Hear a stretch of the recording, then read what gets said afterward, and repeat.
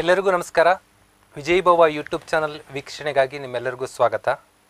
ವಿಜಯ್ ಭವ YouTube channel ಈಗಾಗಲೇ ನಿಮಗೆ ಗೊತ್ತಿದೆ, ಕರ್ನಾಟಕ ರಾಜ್ಯದ ವಿದ್ಯಾರ್ಥಿಗಳನ್ನು, ಯುವಕರನ್ನು ಸ್ಪರ್ಧಾತ್ಮಕವಾಗಿ ಬೆಳೆಸುವುದು ಮತ್ತು ಅವರವರೇ ಯೋಜಿಸಿದಂಥ ಕಾಲ್ದಾರಿಯಲ್ಲಿ ಅವ್ರನ್ನ ಕರೆದುಕೊಂಡು ಯಶಸ್ಸಿನ ಕಡೆಗೆ ಕರೆದುಕೊಂಡು ಹೋಗೋ ಪ್ರಯತ್ನವನ್ನು ನಾವು ಮಾಡ್ತಾ ಇದ್ದೀವಿ. ಈ ಕೊನೆಯ ವಾರದಿಂದ ನಾವು ಯು ಪಿ ಎಸ್ ಸಿ ಸಾಧಕರನ್ನು ಕರೆಸಿ ನನ್ನ ಯಶಸ್ಸಿನ ಕಥೆಯನ್ನು ಹೇಳಿಸುತ್ತಿದ್ದಾಗ ಬಹಳಷ್ಟು ವಿದ್ಯಾರ್ಥಿಗಳ ಪ್ರಶ್ನೆ ಇದ್ದಿದ್ದು, ನಮಗೆ ಕಲಿಕೆ ಕಷ್ಟ ಆಗ್ತಾ ಇದೆ, ನೆನಪು ಉಳಿತಿಲ್ಲ ಅಂತ. ಆ ಎಕ್ಸ್ ಏನು ಯು ಪಿ ಎಸ್ ಸಿ ಸಾಧಕರಿಗೆ ಈ ಪ್ರಶ್ನೆ ಕೇಳೋದು ಸೂಕ್ತವಲ್ಲ ಅನ್ನೋ ಕಾರಣಕ್ಕಾಗಿ ನಾನು ಆ ಪ್ರಶ್ನೆಗಳನ್ನು ಪೆಂಡಿಂಗ್ ಇಟ್ಕೊಂಡು ಅದನ್ನು ತಿಳಿಸುವಂಥ ಎಕ್ಸ್ಪರ್ಟ್ ಒಬ್ಬರನ್ನ ಕರ್ಕೊಂಬಂದಿದ್ದೀವಿ ನಿಮಗೆ ಗೊತ್ತಿದೆ ಆ ಎಕ್ಸ್ಪರ್ಟ್ ಯಾರು ಅಂತ ಥಟ್ ಅಂತ ನೀವು ಉತ್ತರ ಹೇಳ್ತೀರಾ. ಯಾಕೆಂದರೆ ಬೇರೆ ಯಾರು ಅಲ್ಲ ಅದು. ಡಾಕ್ಟರ್ ನಾರಪ್ಪ ಸೋಮೇಶ್ವರ ಸರ್ ಅವರು ಅವರಿಗೆ ಈ ವೇದಿಕೆಗೆ ತುಂಬುವುದರಿಂದ ಸ್ವಾಗತ ಸರ್. ನಮಸ್ತೆ.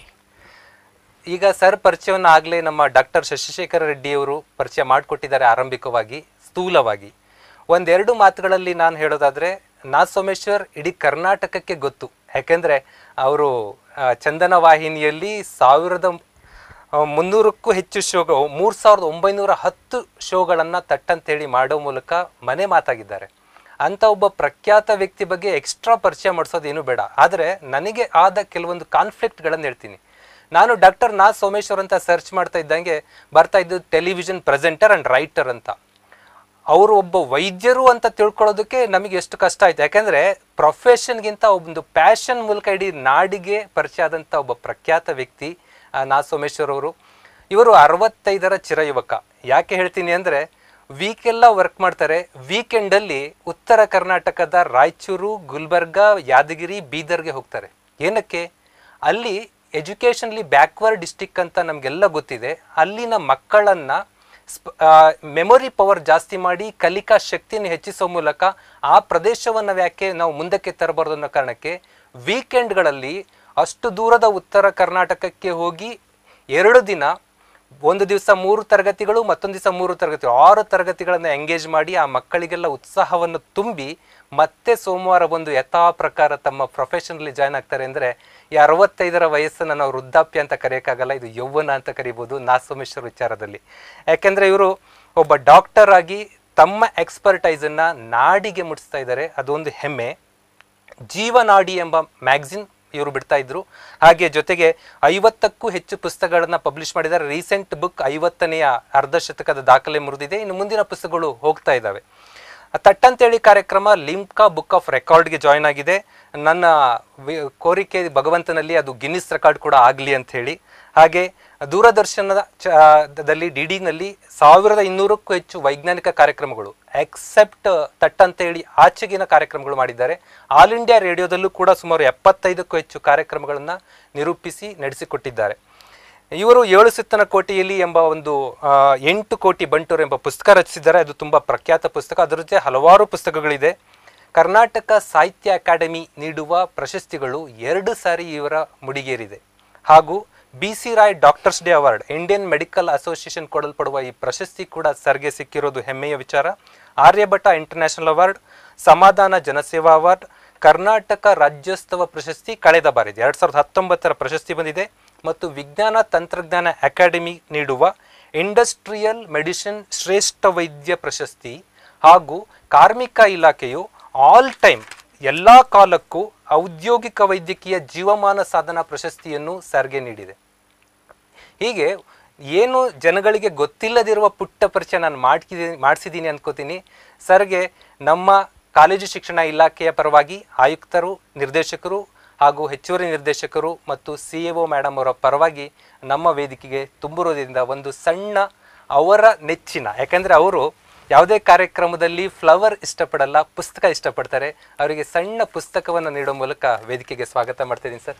Please welcome sir. ಧನ್ಯವಾದಗಳು. ಈಗ ಹೆಚ್ಚು ಸಮಯವನ್ನು ನಾನು ಮತ್ತೆ ಮಧ್ಯೆ ಮಧ್ಯೆ ಮಾತಾಡಿ ಕಾಲ ಕಳೆಯಲು ಇಷ್ಟಪಡಲ್ಲ. ಸರ್, ಒಂದು ಅದ್ಭುತವಾದ ಸೆಷನ್ ರೆಡಿ ಮಾಡ್ಕೊಂಬಂದಿದ್ದಾರೆ ಯಾಕಂದರೆ ಅವರು ಉತ್ತರ ಕರ್ನಾಟಕಕ್ಕೆ ಹೋಗಿ ಏನು ಮಕ್ಕಳಿಗೆ ನೀಡುತ್ತಿದ್ದರೋ ಅದನ್ನು ಇಡೀ ಕರ್ನಾಟಕಕ್ಕೆ ಏಕಕಾಲಕ್ಕೆ ನೀಡುವಂಥ ಪ್ರಯತ್ನ ಮಾಡಿದ್ದಾರೆ. ಇದು ನಾವು ಪ್ರಮೋಷನ್ ಸ್ವಲ್ಪ ವ್ಯತ್ಯಾಸದಿಂದಾಗಿ ಈ ಕಾಲದಲ್ಲಿ ಇವತ್ತಿನ ಲೈವ್ನಲ್ಲಿ ತುಂಬ ಜನ ನೋಡೋಕ್ಕಾಗದೇ ಇದ್ರು ಇದು ಒಂದು ಆಸ್ತಿ ವಿಜಯಭವಕ್ಕೆ ಕರ್ನಾಟಕಕ್ಕೆ. ಸದಾ ಕಾಲ ವಿಜಯಭವ ಯೂಟ್ಯೂಬ್ ಚಾನಲಲ್ಲಿ ಇದೊಂದು ದೊಡ್ಡ ಆಸ್ತಿಯಾಗಿ ಇಡೀ ನಾಡಿನ ಯುವಕರಿಗೆ ವಿದ್ಯಾರ್ಥಿಗಳಿಗೆ ಉಳಿಯುತ್ತೆ. ಅಂಥದ್ದೊಂದು ಅದ್ಭುತ ಕಲಿಕೆ ಮತ್ತು ನೆನಪಿನ ಸೆಷನ್ ಈಗ ಆರಂಭ ಮಾಡ್ತಾ ಇದ್ದಾರೆ. Please take over sir. ತುಂಬ ಧನ್ಯವಾದಗಳು. Sir continue. ಕಲಿಕೆ ಮತ್ತು ನೆನಪಿನ ಬಗ್ಗೆ ಒಂದಷ್ಟು ಮಾಹಿತಿಯನ್ನು ತಿಳ್ಕೊಳ್ಳೋಣ ಅಂತ ಆಸಕ್ತಿಯಿಂದ ನಿಮ್ಮ ಮೊಬೈಲ್ ಮುಂದೆ, ನಿಮ್ಮ ಲ್ಯಾಪ್ಟಾಪ್ ಮುಂದೆ, ನಿಮ್ಮ ಟೆಲಿವಿಷನ್ಗಳ ಮುಂದೆ ಕುಳಿತಿರುವ ನಿಮ್ಮೆಲ್ಲರಿಗೂ ಶುಭವನ್ನು ಹಾರೈಸ್ತಾ ಇದ್ದೇನೆ, ಸ್ವಾಗತಿಸ್ತಾ ಇದ್ದೇನೆ. ಕಲಿಕೆ ಮತ್ತು ನೆನಪಿನ ಬಗ್ಗೆ ವಿಚಾರ ಮಾಡೋದಕ್ಕೆ ಮೊದಲು ಕೆಲವು ಸತ್ಯಗಳನ್ನು ತಿಳ್ಕೋಬೇಕಾಗುತ್ತೆ. ಈ ಸತ್ಯಗಳನ್ನು ಜಾಗತಿಕ ಸತ್ಯಗಳು ಅಥವಾ ಯೂನಿವರ್ಸಲ್ ಟ್ರೂತ್ ಅಂತ ಕರಿತೇವೆ. ಏನು ಈ ಸತ್ಯ? ಅದನ್ನು ಒಂದೊಂದಾಗಿ ತಿಳ್ಕೊಳ್ಳಿಕ್ಕೆ ಪ್ರಯತ್ನ ಪಡೋಣ. ಮೊದಲನೇ ಸತ್ಯ, ಈ ಜಗತ್ತಿನಲ್ಲಿ ಯಾರೂ ದಡ್ಡರಿಲ್ಲ. ಚೆನ್ನಾಗಿ ಅರ್ಥ ಮಾಡಿಕೊಳ್ಳಿ. ಮನವರಿಕೆ ಮಾಡಿಕೊಳ್ಳಿ.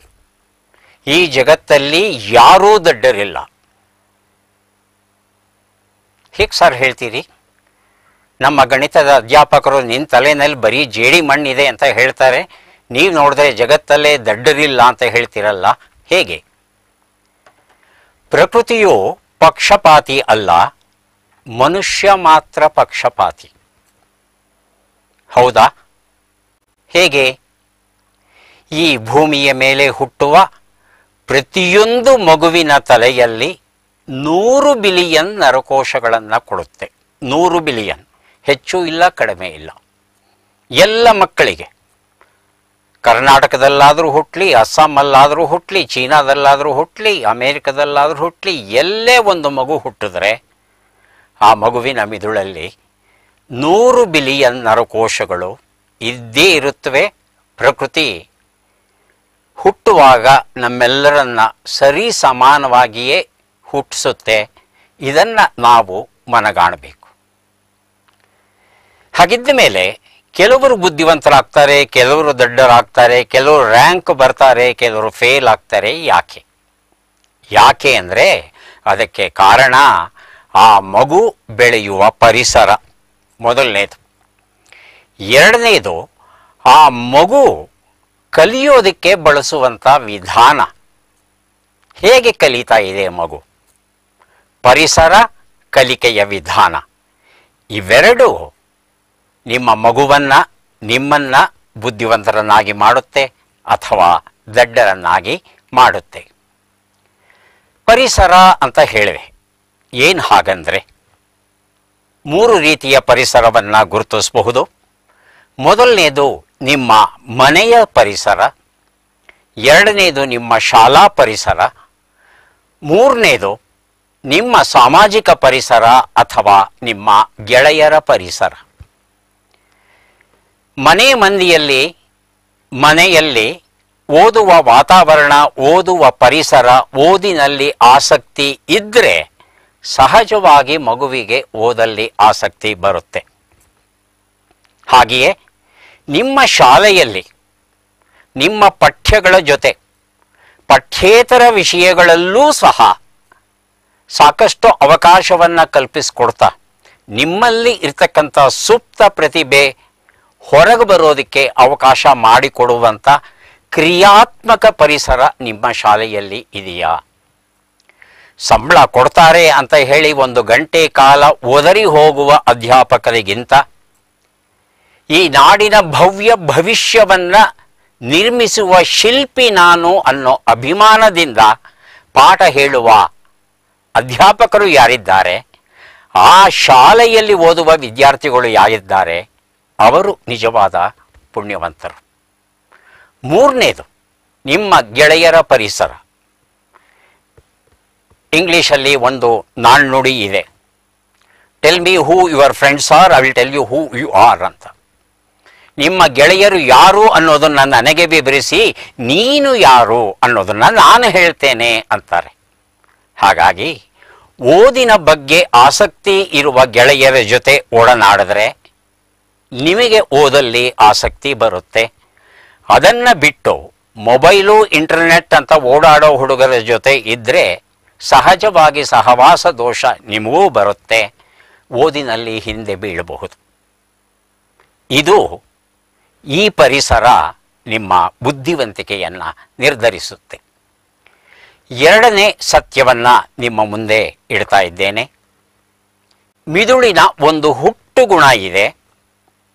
ಹಿತವಾದದ್ದನ್ನು ನೆನಪಲ್ಲಿ ಇಟ್ಕೊಳ್ಳುತ್ತೆ. ಅಹಿತವಾದದ್ದನ್ನು ಮರೆಯುತ್ತೆ.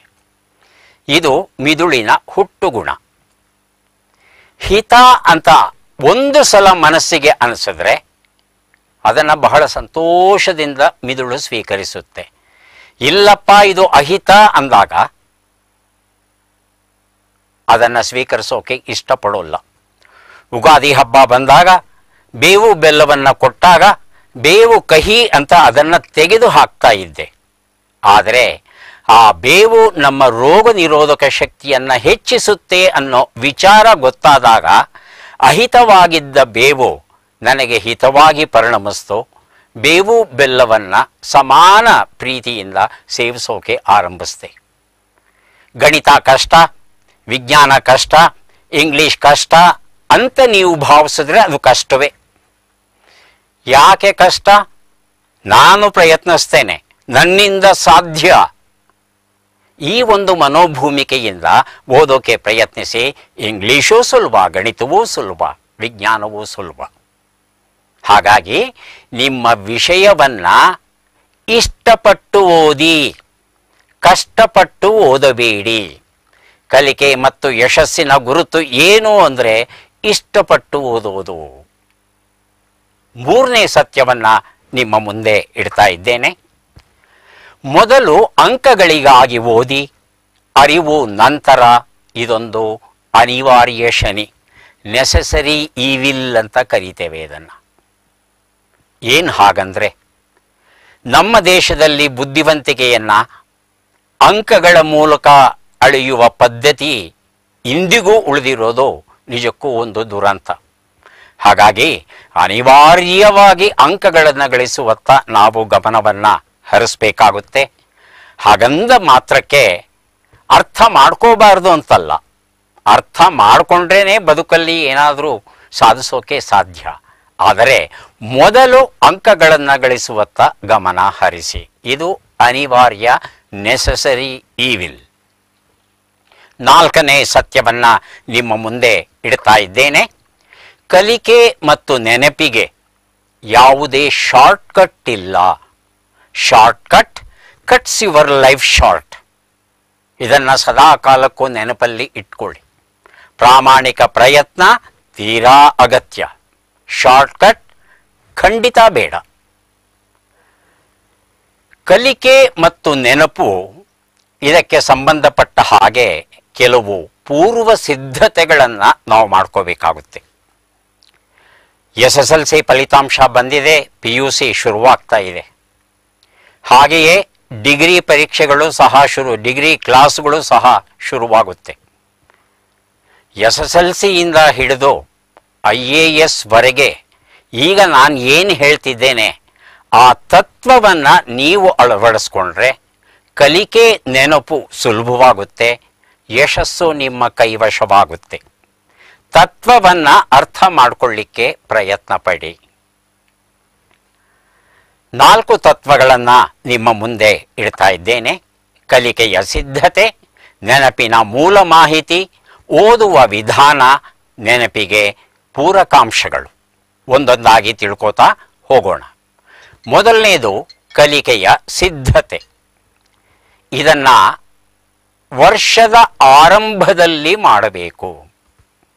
S S L C, P U C ತರಗತಿಗಳು ಜೂನ್ ಒಂದನೇ ತಾರೀಕು ಆರಂಭವಾಗುತ್ತೆ ಅನ್ನೋದಾದರೆ, ಈ ಕಲಿಕೆಯ ಸಿದ್ಧತೆಯನ್ನು ಏಪ್ರಿಲ್ ಅಥವಾ ಮೇ ತಿಂಗಳಲ್ಲಿ ನಡೆಸಬೇಕಾಗುತ್ತೆ.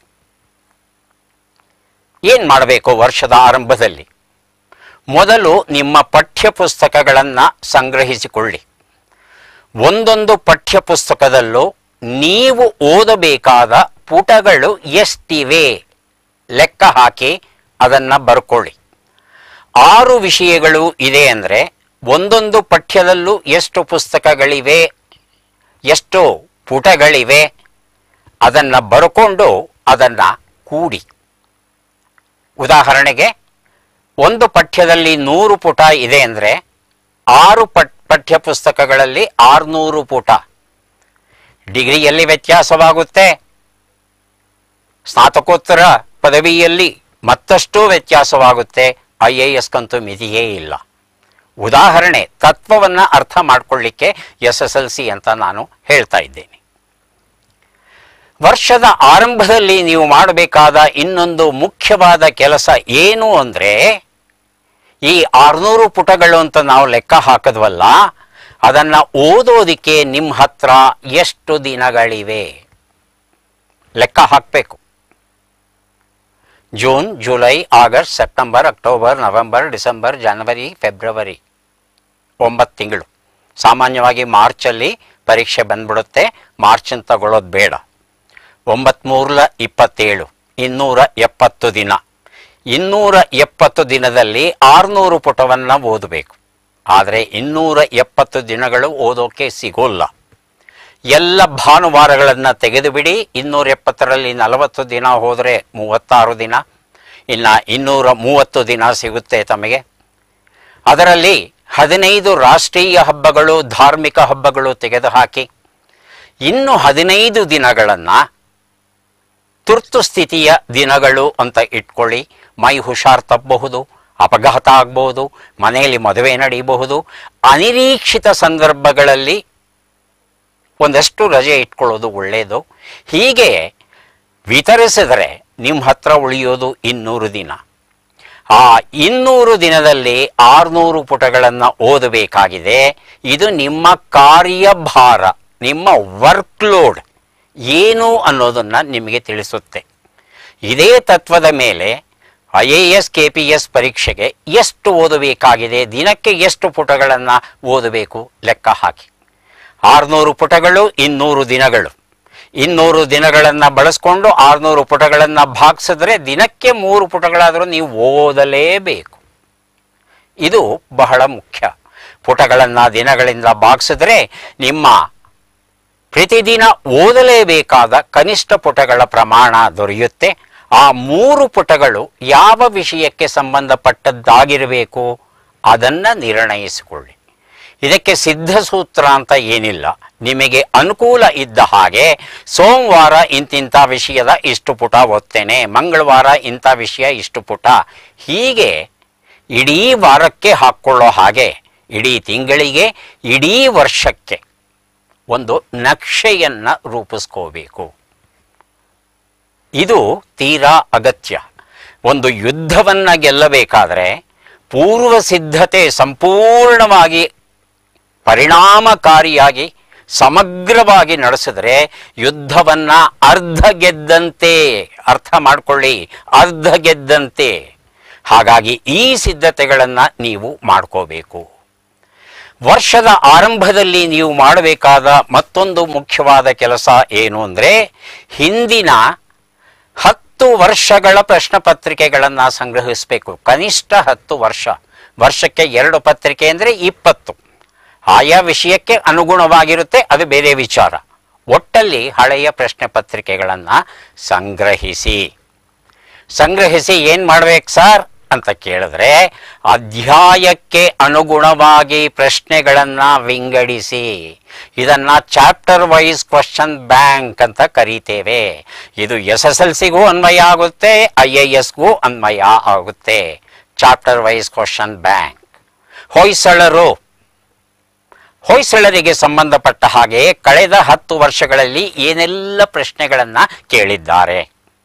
ಲೈಟ್ ಎಷ್ಟು ಮೇನ್ ಕ್ವಶನ್ಸ್ ಬಂದಿದೆ. ಎಷ್ಟು ಶಾರ್ಟ್ ನೋಟ್ಸ್ ಬಂದಿದೆ. ಎಷ್ಟು ಚಿತ್ರಗಳು ಬಂದಿವೆ. ಎಷ್ಟು ಲೆಕ್ಕಗಳನ್ನು ಕೇಳಿದ್ದಾರೆ. ಎಷ್ಟು ಗ್ರಾಫ್ಗಳನ್ನು ಕೇಳಿದ್ದಾರೆ. ಎಷ್ಟು ನಕ್ಷೆಗಳನ್ನು ಕೇಳಿದ್ದಾರೆ. ಎಷ್ಟು ಸೂತ್ರಗಳನ್ನು ಕೇಳಿದ್ದಾರೆ. ಯಾವ ಯಾವ ಸಮೀಕರಣವನ್ನು ಪದೇ ಪದೇ ಕೇಳ್ತಿದ್ದಾರೆ. ಇವೆಲ್ಲವೂ ನಿಮಗೆ ಗೊತ್ತಾಗಬೇಕು. ಆ ಪರೀಕ್ಷಕನ ಮನಸ್ಸು ಹೇಗೆ ಕೆಲಸ ಮಾಡುತ್ತೆ? ಅದು ನಿಮಗೆ ಗೊತ್ತಾಗಬೇಕು. ಅದು ಗೊತ್ತಾಗಬೇಕಾದ್ರೆ ಹಿಂದಿನ ವರ್ಷಗಳ ಅಷ್ಟೂ ಪ್ರಶ್ನೆ ಪತ್ರಿಕೆಗಳನ್ನು ತಂದು ಅವುಗಳನ್ನು ಅಧ್ಯಾಯಕ್ಕೆ ಅನುಗುಣವಾಗಿ ವಿಂಗಡಿಸ್ಕೋಬೇಕು. ಇದು ಚಾಪ್ಟರ್ ವೈಸ್ ಕ್ವಶನ್ ಬ್ಯಾಂಕ್. ವರ್ಷದ ಆರಂಭದಲ್ಲಿ ಮಾಡಬೇಕಾದ ಕೆಲಸ ನೆನ್ಪಿಟ್ಕೊಳ್ಳಿ. ಮತ್ತೊಂದು ಮುಖ್ಯವಾದ ಕೆಲಸ ಅಂದರೆ ರ್ಯಾಂಕ್ ಪಡೆದ ವಿದ್ಯಾರ್ಥಿಗಳ ಉತ್ತರ ಪತ್ರಿಕೆಯ ನೆರಳು ಪ್ರತಿ, ಫೋಟೋ ಕಾಪಿ. ಮಾಡ್ಕೊಳ್ಳಿ. ನಿಮ್ಮ ಬೋರ್ಡ್ಗೆ ಅಥವಾ ವಿಶ್ವವಿದ್ಯಾನಿಲಯಕ್ಕೆ ಬರೆದು ಒಂದಷ್ಟು ಹಣವನ್ನು ಕೊಟ್ಟರೆ ಆ ನೆರಳು ಪ್ರತಿಯನ್ನ, ಫೋಟೋ ಕಾಪಿಯನ್ನು ಜೆರಾಕ್ಸನ್ನು ನಿಮಗೆ ಕೊಡ್ತಾರೆ. ಐದು ಅಂಕಗಳಿಗೆ ಐದೂ ಅಂಕ ಇವನಿಗೆ ಬಂದಿದೆ ಅಂದರೆ ಹೇಗೆ ಉತ್ತರವನ್ನು ಬರೆದಿದ್ದಾನೆ? ಉತ್ತರ ಬರೆಯುವ ಶೈಲಿ ಹೇಗಿದೆ? ಅಂಕಗಳನ್ನ ಪೂರ್ಣ ಕೊಡಬೇಕಾದರೆ ಅಂಶಗಳನ್ನ ಹೇಗೆ ಬರೀಬೇಕು? ಎಲ್ಲವನ್ನು ಅಧ್ಯಯನ ಮಾಡಿ. ಎಲ್ಲವನ್ನು ಅಧ್ಯಯನ ಮಾಡಿ ಹಾಗೆಯೇ ಬರೆಯೋದಕ್ಕೆ ಪ್ರಯತ್ನ ಪಡಿ. ಅಥವಾ ಅದಕ್ಕಿಂತಲೂ ಚೆನ್ನಾಗಿ ಬರೆಯೋದಕ್ಕೆ ಪ್ರಯತ್ನ ಪಡಬೇಕಾಗುತ್ತೆ. ಇದು ನಿಮಗೆ ವರ್ಷದ ಆರಂಭದಲ್ಲಿ ಗೊತ್ತಾಗಬೇಕು. ಇದು ತೀರಾ ಮುಖ್ಯವಾದದ್ದು. ಇದು ವರ್ಷದ ಆರಂಭದಲ್ಲಿ, ಅಂದ್ರೆ ಎಸ್ ಎಸ್ ಎಲ್ ಸಿ ತಗೊಂಡ್ರೆ ಇದನ್ನ ಏಪ್ರಿಲ್, ಮೇ ತಿಂಗಳಲ್ಲೇ ಮಾಡಿ ಮುಗಿಸ್ಬಿಡ್ಬೇಕು ಇದನ್ನ. ಜೂನ್ನಲ್ಲ ಎರಡನೇದು ನೆನಪಿನ ಮೂಲ ಮಾಹಿತಿ. ನೆನಪು ಅಂದ್ರೆ ಏನು? ಇದು ಎಲ್ಲಿರುತ್ತೆ? ಹೇಗಿರುತ್ತೆ? ಅದನ್ನ ನೋಡೋಕೆ ಪ್ರಯತ್ನ ಪಡೋಣ. ನಾವು ಹೇಗೆ ಕಲಿತೇವೆ? ಹೊಸ ಹೊಸ ವಿಚಾರಗಳನ್ನು ಹೇಗೆ ತಿಳ್ಕೋತೇವೆ? ಶೇಕಡ ಎಂಬತ್ತರಷ್ಟು ಮಾಹಿತಿಯನ್ನ ಕಣ್ಣುಗಳಿಂದ ಕಲಿತೇವೆ. ದೃಶ್ಯ ಕಲಿಕೆ ವಿಜುವಲ್ ಲರ್ನಿಂಗ್ ಹಾಗಾಗಿ ಕಣ್ಣನ್ನ ಮನಸ್ಸನ್ನ ಪೂರ್ಣ ತೆರೆದುಕೊಂಡು ಕಲಿಬೇಕಾಗುತ್ತೆ. ಕಣ್ಣುಗಳಿಂದ ದೃಶ್ಯ ಕಲಿಕೆ, ಕಿವಿಗಳಿಂದ ಶ್ರವಣ ಕಲಿಕೆ, ಮೂಗಿನಿಂದ ಘ್ರಾಣ ಕಲಿಕೆ ಏನ್ ಸಾಲ ಹಣ್ಣೆಲ್ಲ ತೋರಿಸ್ತಾ ಇದ್ದೀರಿ, ಹೂವು ತೋರಿಸ್ತೀರಿ, ಇದನ್ನೆಲ್ಲ ಕಟ್ಕೊಂಡು ನನಗೇನಾಗಬೇಕು ಅಂತ ನೀವು ಹೇಳಬಹುದು. ಆದರೆ ಮೂಗು ಸಹ ನಿಮ್ಮ ಕಲಿಕೆಗೆ ನೆನಪಾಗುತ್ತೆ. ಪಿ ಯು ಸಿನಲ್ಲಿ, ಕೆಮಿಸ್ಟ್ರಿನಲ್ಲಿ ಅಪರಿಚಿತ ಸಾಲ್ಟ್ ಒಂದನ್ನು ಕೊಟ್ಟಾಗ ಅದನ್ನು ಪತ್ತೆ ಹಚ್ಚಬೇಕಾದರೆ ಅದರ ವಾಸನೆಯನ್ನು, ರುಚಿಯನ್ನು ನೋಡಬೇಕಾಗುತ್ತೆ. ನೆನಪಿಟ್ಕೊಳ್ಳಿ. ಹಾಗೆಯೇ ನಾಲಿಗೆಯಿಂದ ರಸನ ಕಲಿಕೆ. ಹಾಗೆಯೇ ನಾಲಿಗೆಯಿಂದ ಬಹಳ ಬಹಳ ಬಹಳ ಮುಖ್ಯವಾದ ಸಂವಹನ ಕಲಿಕೆ. ಮಾತು ಮಾತು ಮಾತು. ಓದು ಓದು ಓದು. ಇದಕ್ಕೆ ನಾಲಿಗೆ ಎನ್ನುವ ಈ ಒಂದು ಇಂದ್ರಿಯ ತೀರಾ ಅಗತ್ಯ. ಬಹಳ ಮುಖ್ಯವಾದದ್ದು ಚರ್ಮ. ಸ್ಪರ್ಶ ಜ್ಞಾನವನ್ನು ಕೊಡುವಂಥ ಚರ್ಮ. ತೀರಾ ಮುಖ್ಯವಾದದ್ದು ನಾನಾ ರೀತಿಯ ಸ್ಪರ್ಶಗಳ ಅರಿವನ್ನ ನಮಗೆ ಕೊಡುತ್ತೆ. ಈ ಅರಿವನ್ನ ಕೊಡೋದಕ್ಕೆ ವಿಶೇಷವಾದ ನರ ತುದಿಗಳು ನಮ್ಮ ಚರ್ಮದಲ್ಲಿ ಇರುತ್ತೆ. ಅವುಗಳನ್ನು ಪರಿಣಾಮಕಾರಿಯಾಗಿ ಬಳಸ್ಕೊಂಡು ನಾವು ಕಲಿಬೇಕಾಗುತ್ತೆ. ವಿದ್ಯಾರ್ಥಿಗಳಾದ ನಾವು ಕಣ್ಣಿನಿಂದ ನೋಡಿ ಕಲಿತೇವೆ, ಕಿವಿಯಿಂದ ಕೇಳಿ ಕಲಿತೇವೆ, ನಾಲಿಗೆಯಿಂದ ಧ್ವನ್ಯಂಗಗಳ ನೆರವಿನ ಮೂಲಕ ಓದಿ ಮಾತಾಡೋದ್ರ ಮೂಲಕ ಕಲಿತೇವೆ, ಮೂಗಿನಿಂದ ಅಘ್ರಾಣಿಸಿ ಕಲಿತೇವೆ, ಕೈಗಳಿಂದ ಬರೆದು ಕೈ ಕೆಲಸ ಮಾಡಿ ಕಲಿತೇವೆ ಅಂದ್ರೆ ಪಂಚೇಂದ್ರಿಯಗಳ ಮೂಲಕ ನಾವು ಕಲಿತೇವೆ. ಹಾಗಾಗಿ ಪಂಚೇಂದ್ರಿಯಗಳನ್ನ ಪರಿಪೂರ್ಣವಾಗಿ, ಸಮಗ್ರವಾಗಿ ಬಳಸೋದು ಹೇಗೆ ಅಂತ ತಿಳ್ಕೊಂಡ್ರೆ ಮಾತ್ರ ಕಲಿಕೆ ಮತ್ತು ನೆನಪು ಉಳಿಯುತ್ತೆ, ಯಶಸ್ಸನ್ನು ಗಳಿಸೋದಕ್ಕೆ ಸಾಧ್ಯವಾಗುತ್ತೆ. ಹೇಗೆ ಬಳಸೋದು ಇವನ್ನ? ಅದನ್ನ ನೋಡೋಣ. ಅದಕ್ಕೆ ಮೊದಲು ಈ ನೆನಪು ಅನ್ನೋದು ಎಲ್ಲಿದೆ ನಮ್ಮ ದೇಹದಲ್ಲಿ? ಎಲ್ಲಿದೆ ಈ ನೆನಪು? ಹೇಗಿದೆ ಈ ನೆನಪು? ನೆನಪುಗಳು ಒಂದೇನಾ ವಿಧಗಳು ಇವೆಯಾ? ನಾವು ಕಲಿತದ್ದು ನೆನಪಾಗಿ ಹೇಗೆ ಪರಿವರ್ತನೆಯಾಗುತ್ತೆ? ಯಾಕೆ ಅನೇಕ ಸಲ ಕಲಿತದ್ದನ್ನ ಮರೆತು ಹೋಗ್ತೇವೆ? ಮರೆಯದೇ ಇರೋ ಹಾಗೆ ಕಲಿಯೋಕೆ ನಾವು ಸಾಧ್ಯವಿಲ್ಲವೇ? ಕಲಿಕೆ ಮತ್ತು ನೆನಪಿನ ಗುಟ್ಟೇನು? ಆ ಗುಟ್ಟನ್ನು ತಿಳ್ಕೊಳ್ಳಿಕ್ಕೆ ಇವತ್ತು ಪ್ರಯತ್ನ ಪಡೋಣ. ಈ ಒಂದು ಚಿತ್ರವನ್ನ ಸದಾ ಕಾಲಕ್ಕೂ ನೆನಪಲ್ಲಿ ಇಟ್ಕೊಳ್ಳಿ. ಯಾವ ಕಾರಣಕ್ಕೂ ಈ ಚಿತ್ರವನ್ನು ನೀವು ಮರೆಯಬಾರ್ದು. ನಮ್ಮ ಮಿದುಳಿನ ಚಿತ್ರ ಇದು. ಮೊಬೈಲ್ ಇತ್ತು ಅಂದ್ರೆ ದಯವಿಟ್ಟು ಒಂದು ಚಿತ್ರವನ್ನ, ಒಂದು ಫೋಟೋ ತೆಗೆದು ಇಟ್ಕೊಳ್ಳಿ. ಪದೇ ಪದೇ ಇದನ್ನ ನೋಡ್ತಾ ಇರಿ. ನಿಮಗೆ ತುಂಬಾ ಅನುಕೂಲ ಇದು. ಏನು ಈ ಚಿತ್ರದ ಮಹತ್ವ? ಕಣ್ಣಿನಿಂದ ನೋಡಿ ನೀವು ಏನನ್ನ ಕಲಿತೀರಾ? ಅದು ವಿಜುವಲ್ ಕಾರ್ಟೆಕ್ಸ್, ಕೆಂಪು ಮತ್ತು ಗುಲಾಬಿ ಬಣ್ಣದಲ್ಲಿ ತೋರಿಸಿದ್ದಾರಲ್ಲ, ಮಿದುಳಿನ ಆ ಕ್ಷೇತ್ರದಲ್ಲಿ ದೃಶ್ಯ ನೆನಪಾಗಿ ಉಳಿಯುತ್ತೆ. ಹಾಗೆಯೇ ಕಿವಿಯಿಂದ ಆಲಿಸಿ ಏನು ಹೊಸ ವಿಚಾರಗಳನ್ನು ಕಲಿತೀರಾ? ಅದು ಆಡಿಟರಿ ಕಾರ್ಟೆಕ್ಸ್ ಒಂದು ಬಿಳಿಯ ಪುಟ್ಟ ಕ್ಷೇತ್ರವನ್ನು ನೋಡ್ತಾ ಇದ್ದೀರಿ, ಅಲ್ಲಿ ನೆನಪಾಗಿ ಉಳಿಯುತ್ತೆ. ಹಾಗೆಯೇ ಸ್ಪೀಚ್ ಸೆಂಟರ್ ಅಂತಕ್ಕಂಥ ಒಂದು ಹಸಿರು ಕ್ಷೇತ್ರವನ್ನ ನೋಡ್ತಾ ಇದ್ದೀರಾ? ನಿಮ್ಮ ಮಾತಿಗೆ, ನಿಮ್ಮ ಧ್ವನ್ಯಂಗಗಳಿಗೆ ಸಂಬಂಧಪಟ್ಟಂತಹ ಕ್ಷೇತ್ರ ಅದು. ನಿಮ್ಮ ಮಾತಿನ ಮೂಲಕ.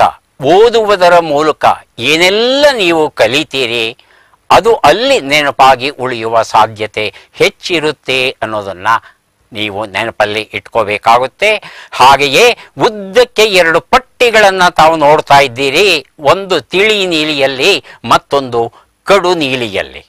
ಪ್ರೈಮರಿ ಸೊಮ್ಯಾಟೊ ಸೆನ್ಸರಿ ಕಾರ್ಟೆಕ್ಸ್ ಅಂತ ಹೇಳ್ತಾರೆ. ಕಡು ನೀಲಿ ಬಣ್ಣದ ಮಿದುಳಿನ ಕ್ಷೇತ್ರ. ಕೈ ಕೆಲಸದಿಂದ ಏನೆಲ್ಲ ನೀವು ಸ್ಪರ್ಶ ಜ್ಞಾನದಿಂದ ಏನೆಲ್ಲ ವಿಚಾರಗಳನ್ನು, ಹೊಸ ವಿಷಯಗಳನ್ನು ತಿಳ್ಕೊತೀರಾ, ಅದು ಮೂಲತಃ ಮಿದುಳಿನ ಆ ಕ್ಷೇತ್ರಕ್ಕೆ ಹೋಗುತ್ತೆ. ಒಂದು ಚಿತ್ರವನ್ನ ಬರೆದರೆ, ಅಕ್ಷರಗಳನ್ನು ಗುಂಡಾಗಿ ಬರೆದರೆ, ಅಥವಾ ಒಂದು ಗಿಡದ ಗ್ರಾಫ್ಟಿಂಗ್ ಕೆಲಸವನ್ನ ನೀವು ಮಾಡಿದರೆ, ಮಣ್ಣನ್ನ ತಗೊಂಡು ಗಣಪತಿಯ ಮೂರ್ತಿಯನ್ನ ಮಾಡಿದರೆ, ಈ ಎಲ್ಲ ಕೈ ಕೆಲಸಗಳು ಏನು ಒಂದು ಅರಿವನ್ನ ನಿಮ್ಮ ಮಿದುಳಿಗೆ ತಲುಪಿಸುತ್ತೆ, ಅದು ಈ ಕಡು ನೀಲಿ ಕ್ಷೇತ್ರದಲ್ಲಿ ದಾಖಲಾಗುತ್ತೆ. ಒಂದು ಸಲ ಮಾಡಿದ ಕೆಲಸವನ್ನ ಮತ್ತೊಂದು ಸಲ ಮಾಡಬೇಕು ಅಂತ ನೀವು ಹೊರಟಾಗ ಪಕ್ಕದಲ್ಲಿ ಇರ್ತಕ್ಕಂಥ ತೆಳು ನೀಲಿ ಕ್ಷೇತ್ರ ಏನಿದೆ ಪ್ರೈಮರಿ ಮೋಟಾರ್ ಕಾರ್ಟೆಕ್ಸ್ ಅಂತ ಏನಿದೆ, ಅದು ನಿಮ್ಮ ಕೈಗಳಿಗೆ, ನಿಮ್ಮ ಕೈಗಳಲ್ಲಿರುವ ಸ್ನಾಯುಗಳಿಗೆ ಹೀಗೆ ಮಾಡು ಹೀಗೆ ಮಾಡು ಎನ್ನುವ ಒಂದು ಮಾಹಿತಿಯನ್ನ ಪೂರೈಸ್ತಾ ಇರುತ್ತೆ.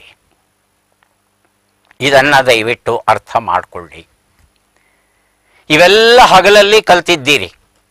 ರಾತ್ರಿ ನಿದ್ರೆ ಮಾಡ್ತಿದ್ದೀರಿ. ನಿದ್ರೆ ಮಾಡೋವಾಗ ಮುಂದೆ ಒಂದು ಹಸಿರು ಬಣ್ಣದ ಪ್ರೀ ಫ್ರಾಂಟಲ್ ಕಾರ್ಟೆಕ್ಸ್ ಅಂತ ಇದೆ ನೋಡಿ. ಲಲಾಟ ಪೂರ್ವ ಹಾಲೆ ಅಂತ ಕರಿತೇವೆ. ನಿಮ್ಮ ಹಣೆ ಇದೆಯಲ್ಲ, ಹಣೆಯ ಹಿಂಭಾಗದಲ್ಲಿ ಇರತಕ್ಕಂಥ ಮಿದುಳು. ಈ ಮಿದುಳಿನ ಭಾಗ ಅತ್ಯಂತ ಉನ್ನತ ಭಾಗ.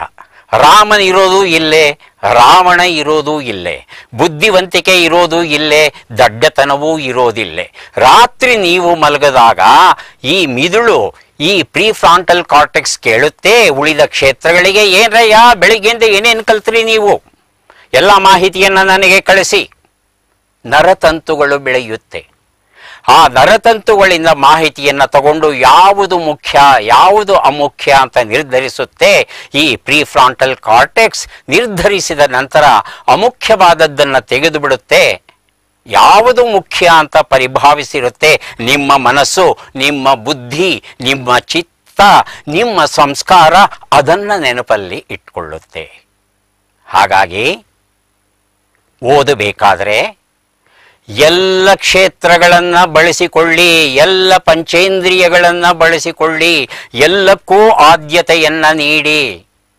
ಇದು ಮುಖ್ಯ. ಇಷ್ಟಪಟ್ಟು ಓದಿದ್ರೆ ಪ್ರೀ ಫ್ರಾಂಟಲ್ ಕಾರ್ಟೆಕ್ಸ್ ಹೇಳುತ್ತೆ, ನೆನಪಿಟ್ಕೋ.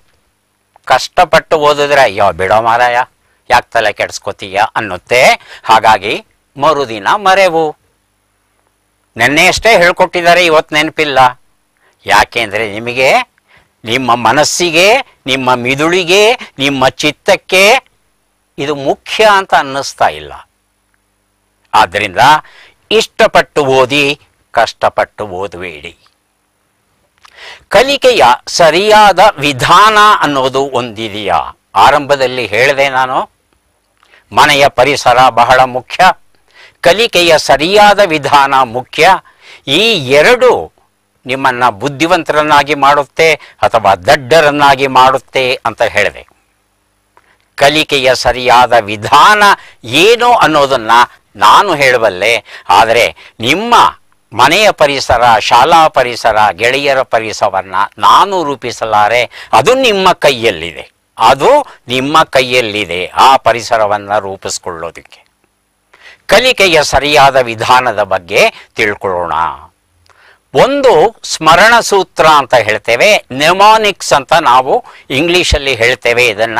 P R one Q R two R three R four R five ಬಹಳ ಸುಲಭ. P R one R two R three R four R five ಮಧ್ಯದಲ್ಲಿ ಒಂದು ಕ್ಯೂ ಇದೆ ಅಷ್ಟೇ. ಒಂದೊಂದಾಗಿ ತಿಳ್ಕೊತಾ ಹೋಗೋಣ. ಪ್ರಿವ್ಯೂ ಪಿ ಅಂದ್ರೆ ಪ್ರಿವ್ಯೂ ಪ್ರಿವ್ಯೂ ಅಂದ್ರೆ ಮುನ್ನೋಟ. ಯಾವುದೇ ಒಂದು ಹೊಸ ಅಧ್ಯಾಯವನ್ನು ನೇರವಾಗಿ ಓದೋಕೆ ಆರಂಭಿಸಬೇಡಿ. ಮೊದಲು ಪಕ್ಷಿ ನೋಟವನ್ನು ಪ್ರಿವ್ಯೂ ಮಾಡಿ. ಪ್ರಿವ್ಯೂ ಮಾಡೋದು ಅಂದರೆ ಏನು? ಪಕ್ಷಿ ನೋಟ ಅಂದರೆ ಏನು? ಅಧ್ಯಾಯದ ಶೀರ್ಷಿಕೆಯನ್ನು ಓದಿ ಅರ್ಥ ಮಾಡಿಕೊಳ್ಳಿಕ್ಕೆ ಪ್ರಯತ್ನಿಸಿ. ಉಪಶೀರ್ಷಿಕೆಗಳನ್ನು ಸೈಡ್ ಹೆಡಿಂಗ್ಸ್ ಓದಿ ಅರ್ಥ ಮಾಡಿಕೊಳ್ಳಿಕ್ಕೆ ಪ್ರಯತ್ನಿಸಿ. ಚಿತ್ರಗಳನ್ನ ನೋಡಿ, ಓದಿ, ಅರ್ಥ ಮಾಡಿಕೊಳ್ಳಿ. ಪಟ್ಟಿಯನ್ನ ಓದಿ, ಗ್ರಾಫ್ ಓದಿ.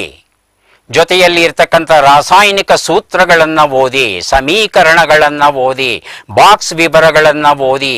ಏನೂ ಅರ್ಥವಾಗದಿದ್ರೂ ಚಿಂತೆ ಇಲ್ಲ. ಈ ಪ್ರಿವ್ಯೂ ಪಕ್ಷಿ ನೋಟವನ್ನು ಮಾಡಲೇಬೇಕು. ಈ ಪಕ್ಷಿ ನೋಟವನ್ನು ಮಾಡಲಿಕ್ಕೆ ಹದಿನೈದು ನಿಮಿಷ ಸಾಕಾಗುತ್ತೆ. ಯಾಕೆ ಸಾರ್ ಮಾಡಬೇಕು? ಇದರಿಂದ ನಮಗೇನು ಲಾಭ ಅಂತ ನೀವು ಕೇಳಿದ್ರೆ ಎರಡು ಲಾಭ ಇದೆ. ಮೊದಲನೆಯದು ಈ ಅಧ್ಯಾಯವನ್ನ ಓದೋದಕ್ಕೆ ನಿಮಗೆ ಸುಮಾರು ಎಷ್ಟು ಸಮಯ ಬೇಕು? ಒಂದು ಗಂಟೆ, ಎರಡು ಗಂಟೆ, ಮೂರು ಗಂಟೆ, ಅರ್ಧ ದಿನ, ಒಂದು ದಿನ, ಮೂರು ದಿನ, ಒಂದು ಅಂದಾಜು ಸಿಗುತ್ತೆ ನಿಮಗೆ. ಈ ಒಂದು ಅಧ್ಯಾಯ ಸುಲಭವಾಗಿ ಕಾಣುತ್ತಾ, ಕಷ್ಟವಾಗಿ ಕಾಣುತ್ತಾ, ಆ ಒಂದು ಪರಿಕಲ್ಪನೆ ನಿಮಗೆ ದೊರೆಯುತ್ತೆ. ಹಾಗಾಗಿ, ಪ್ರಿವ್ಯೂ ಮಾಡದೆ ಹೊಸ ಪಠ್ಯವನ್ನ, ಹೊಸ ಅಧ್ಯಾಯವನ್ನ ಆರಂಭಿಸಬಾರ್ದು. ಆರ್ ಒನ್ ಆರ್ ಒನ್ ಅಂತ ಹೇಳಿದ್ರೆ ರೀಡ್. ರೀಡ್ ಅಂದ್ರೆ ಓದು. ಓದೋದಕ್ಕೆ ಮೊದಲು ವಿದ್ಯಾರ್ಥಿಯ ಮೇಜಿನ ಮೇಲೆ ಇರಲೇಬೇಕಾದ ನಿಘಂಟುಗಳ ಬಗ್ಗೆ, ಡಿಕ್ಷನರೀಸ್ ಬಗ್ಗೆ ನಾನು ಹೇಳಲೇಬೇಕು. ನಿಮ್ಮ ಶಾಲೆಯಲ್ಲಿ, ನಿಮ್ಮ ಕಾಲೇಜಲ್ಲಿ ಹೇಳಿದ್ದಾರೋ ಇಲ್ವೋ ನನಗೆ ಗೊತ್ತಿಲ್ಲ. ಆದರೆ ಇಷ್ಟಂತೂ ಇರಲೇಬೇಕು. ಕೇಂಬ್ರಿಡ್ಜ್ ಅಥವಾ Oxford English dictionary, English to English. Oxford students science dictionary. Columbia encyclopedia. ಸಂಕ್ಷಿಪ್ತ ಕನ್ನಡ ನಿಘಂಟು, ಕನ್ನಡ ಸಾಹಿತ್ಯ ಪರಿಷತ್ತು ಇದನ್ನು ಪ್ರಕಟಿಸಿದೆ. ಕನ್ನಡ ಕನ್ನಡ ನಿಘಂಟು. ಹಾಗೆಯೇ ನವಕರ್ನಾಟಕ ವಿಜ್ಞಾನ, ತಂತ್ರಜ್ಞಾನ, ಪದಸಂಪದ ಇಂಗ್ಲಿಷಿಂದ ಕನ್ನಡಕ್ಕೆ, ಕನ್ನಡದಿಂದ ಇಂಗ್ಲಿಷಿಗೆ ಮಾಹಿತಿಯನ್ನು ಕೊಡುವಂಥ ಅಪರೂಪದ ಪದ ಸಂಪದ ಇಷ್ಟು ನಿಮ್ಮ ಮೇಜಿನ ಮೇಲೆ ಇರಲೇಬೇಕು ಓದನ್ನ ಆರಂಭಿಸೋದಕ್ಕೆ ಮೊದಲು. ಎರಡು ಪ್ರಶ್ನೆಗಳು ಓದಿಗೆ ಸಂಬಂಧಪಟ್ಟ ಹಾಗೆ. ಸಾಮಾನ್ಯವಾಗಿ ವಿದ್ಯಾರ್ಥಿಗಳು ಕೇಳುವಂಥದ್ದು ನಾವು ಎಷ್ಟು ಹೊತ್ತು ನಿರಂತರವಾಗಿ ಓದಬೇಕು? Continuously how long one is suppose to study ಮೊದಲನೇ ಪ್ರಶ್ನೆ. ಎರಡನೇ ಪ್ರಶ್ನೆ, ನಾವು ಹೇಗೆ ಓದಬೇಕು? ನಮ್ಮ ಮನಸ್ಸಿನಲ್ಲಿಯೇ ಓದಬೇಕಾ? ಪಕ್ಕದ ಮನೆಗೆ ಕೇಳಿಸುವಷ್ಟು ಜೋರಾಗಿ ಓದಬೇಕಾ? ಅಥವಾ ನಮಗೆ ಮಾತ್ರ ಕೇಳಿಸುವಷ್ಟು ಜೋರಾಗಿ ಓದಬೇಕಾ? ಹೇಗೆ ಓದಬೇಕು? ಹೇಗೆ ಓದಿದ್ರೆ ನೆನಪಲ್ಲಿ ಚೆನ್ನಾಗಿ ಉಳಿಯುತ್ತೆ? ಈ ಪ್ರಶ್ನೆಗಳು ತುಂಬ ಮುಖ್ಯ ಉತ್ತರವನ್ನ ತಿಳ್ಕೊಳ್ಳೋಣ. ನಾವು ಎಷ್ಟು ಹೊತ್ತು ಓದಬೇಕು? ಸುಮಾರು ನಲವತ್ತೈದು ನಿಮಿಷಗಳ ಕಾಲ ಓದಬೇಕು. ಯಾಕೆ ನಲವತ್ತೈದು ನಿಮಿಷಗಳ ಕಾಲವೇ ಓದಬೇಕು ಅಂತ ನೀವು ಪ್ರಶ್ನೆ ಕೇಳ್ತು ಅಂದರೆ ಅದಕ್ಕೆ ಈ ಚಿತ್ರವನ್ನು ಅರ್ಥ ಮಾಡ್ಕೋಬೇಕು. ಇದು ನರಕೋಶದ ಚಿತ್ರ. ನ್ಯೂರಾನ್ ಅಂತ ಕರೀತೇವೆ. ಮಧ್ಯದಲ್ಲಿ ಸೆಲ್ ಬಾಡಿ ಅಥವಾ ನರಕಾಯ ಇದೆ. ಆ ನರಕಾಯದಿಂದ ಬೇರಿನ ರೂಪದಲ್ಲಿ ಕವಲುಗಳು ಹೊರಟಿವೆ. ಇದನ್ನು ಡೆಂಡ್ರೈಟ್ ಅಂತ ಹೇಳ್ತೇವೆ. ವೃಕ್ಷ ಕವಲು ಅಂತ ಕನ್ನಡದಲ್ಲಿ ಹೇಳ್ತೇವೆ. ನರಕಾಯದಿಂದ ಉದ್ದನೆ ಒಂದು ಬಾಲ ಬಂದಿದೆ. ಈ ಬಾಲವನ್ನ ಆಕ್ಸಾನ್ ಅಂತ ಕರೆದಿದ್ದಾರೆ. ಅಕ್ಷತಂತು ಅಂತ ಅದನ್ನ ಕನ್ನಡದಲ್ಲಿ ಕರೆಯಬಹುದು ಅಕ್ಷತಂತುವಿನ ತುದಿಯಲ್ಲಿ ನೋಡಿ ಆಕ್ಸಾನ್ ಟರ್ಮಿನಲ್ ಅಂತ ಇದೆ. ತುದಿ. ಅಕ್ಷತಂತುವಿನ ತುದಿಗಳು. ಇದು ಒಂದು ನರದ ಚಿತ್ರ. ಹೀಗೆ ಅಸಂಖ್ಯ ನರಗಳಿವೆ. ಎಷ್ಟು ನರಗಳಿವೆ? ಎಷ್ಟಿದೆ ಅಂತ ಹೇಳಿದೆ? Hundred billion nerves hundred billion nerves ಹಾಗಾಗಿ ಒಂದು ನರ ತಾನು ಕಲಿತದ್ದನ್ನ ಇನ್ನೊಂದು ನರಕ್ಕೆ ವರ್ಗಾಯಿಸಬೇಕಲ್ಲ, ಹೇಗೆ ವರ್ಗಾಯಿಸುತ್ತೆ? ಅದನ್ನ ತಿಳ್ಕೋಬೇಕಾದ್ರೆ ನಾವು ಈ ಆಕ್ಸಾನ್ ಅನ್ನೋದ್ರ ಬಗ್ಗೆ ತಿಳ್ಕೋಬೇಕು. ಆಕ್ಸಾನ್ ಹೇಗೆ ಕೆಲಸ ಮಾಡುತ್ತೆ? ಸೈನಾಪ್ಸ್ ಹೇಗೆ ಕೆಲಸ ಮಾಡುತ್ತೆ? ಇದು ತಿಳ್ಕೋಬೇಕಾದದ್ದು. ನಾವು ಕಲಿತದ್ದು ವಿದ್ಯುತ್ ರೂಪದಲ್ಲಿ ಎಲೆಕ್ಟ್ರಿಕಲ್ ಸಿಗ್ನಲ್ಗಳ ರೂಪದಲ್ಲಿ ಹರಿಯುತ್ತೆ. ಇದನ್ನ ಅರ್ಥ ಮಾಡಿಕೊಳ್ಳಿ. ಎಲೆಕ್ಟ್ರಿಕಲ್ ಸಿಗ್ನಲ್ ರೂಪದಲ್ಲಿ ಒಂದು ನರದಿಂದ ಇನ್ನೊಂದು ನರಕ್ಕೆ ಹರಿ, ಹರಿ- ಹರಿಯುತ್ತೆ. ಅಲ್ಲಿ ಕೆಂಪು ವೃತ್ತವನ್ನ ಹಾಕಿ ಸೈನಾಪ್ಸ್ ಅಂತ ಬರೆದಿದ್ದಾರೆ. ಸೈನಾಪ್ಸ್ ಅಂತ ಎರಡು ಕಡೆ ಬರೆದಿದ್ದಾರೆ ನೋಡಿ. ಸೈನಾಪ್ಸ್ ಅಂದ್ರೆ ನರಸಂಧಿ. ನರಸಂಧಿ ಯಾವುದರ ನಡುವೆ ನಡೀತಾ ಇದೆ? ಒಂದು ನರಕೋಶದ ಅಕ್ಷತಂತುವಿನ ತುದಿ ಒಂದು ಕಡೆ ಇದ್ರೆ, ಇನ್ನೊಂದು ಕಡೆ ನರಕೋಶದ ವೃಕ್ಷ ಕವಲಿನ ತುದಿ ಇದೆ.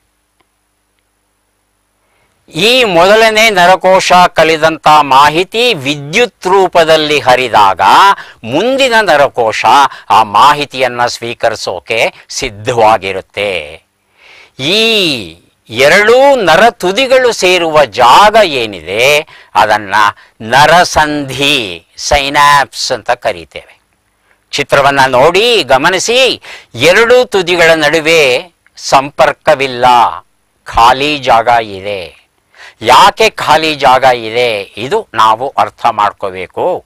ಇದು ತುಂಬಾ ಮುಖ್ಯವಾದದ್ದು. ವಿದ್ಯುತ್ ಸಂವೇಗ, ಆವೇಗದ ಮೂಲಕ ಬರುತ್ತೆ ಮಾಹಿತಿ ಅಂತ ಹೇಳದೆ ಆ ವಿದ್ಯುದಾವೇಗ ಈ ತುದಿಗೆ ಬಂದಾಗ ಅಲ್ಲಲ್ಲಿ ಗುಲಾಬಿ ಬಣ್ಣದ ಗುಳ್ಳೆಗಳು ಇರೋದನ್ನ ನೀವು ನೋಡ್ತೀರಿ. ಇದನ್ನ ಸೈನಾಪ್ಟಿಕ್ ವೆಸೈಕಲ್ ಅಂತ ಕರೆದಿದ್ದಾರೆ. ಅದರೊಳಗೆ ವಿಶೇಷವಾದ ರಾಸಾಯನಿಕ ವಸ್ತು ಇರುತ್ತೆ, ಅದನ್ನ ನ್ಯೂರೋ ಟ್ರಾನ್ಸ್ಮಿಟರ್ಸ್ ಅಂತ ಕರೀತಾರೆ. ಇಷ್ಟೊಂದೆಲ್ಲ ಹೇಳ್ತಾ ಇದ್ದೀರಲ್ಲ, ಯಾಕೆ ನಮಗೆ? ಹೇಳ್ತೇನೆ. ವಿದ್ಯುದಾವೇಗ ಯಾವಾಗ ನರದ ತುದಿಗೆ ಬಂತೋ, ಈ ಸೈನಾಪ್ಟಿಕ್ ವಸೈಕಲ್ ಅನ್ನೋದು ಫಟ್ ಅಂತ ಹೊಡೆಯುತ್ತೆ. ಒಡೆದಾಗ ಒಳಗೆ ಇರ್ತಕ್ಕಂಥ ನ್ಯೂರೋ ಟ್ರಾನ್ಸ್ಮಿಟರ್ ಹೊರಗಡೆ ಬರುತ್ತೆ. ಆ ವಿದ್ಯುದಾವೇಗ ಯಾವ ಮಾಹಿತಿಯನ್ನು ಹೊತ್ಕೊಂಡು ಬಂದಿದೆ, ಆ ಮಾಹಿತಿಯನ್ನ ಈ ನ್ಯೂರೋ ಟ್ರಾನ್ಸ್ಮಿಟರ್ ಸ್ವೀಕರಿಸುತ್ತೆ. ಸ್ವೀಕರಿಸಿ ನರದ ತುದಿಗೆ ಬಂದಿದೆ ನೋಡಿ. ಒಂದು ನರದ ತುದಿಯನ್ನು ಬಿಟ್ಟು ಖಾಲಿ ಜಾಗದಲ್ಲಿ ಕ್ರಮಿಸ್ತಾ ಮುಂದಿನ ನರದ ತುದಿಗೆ ಹೋಗ್ತಾ ಇದೆ.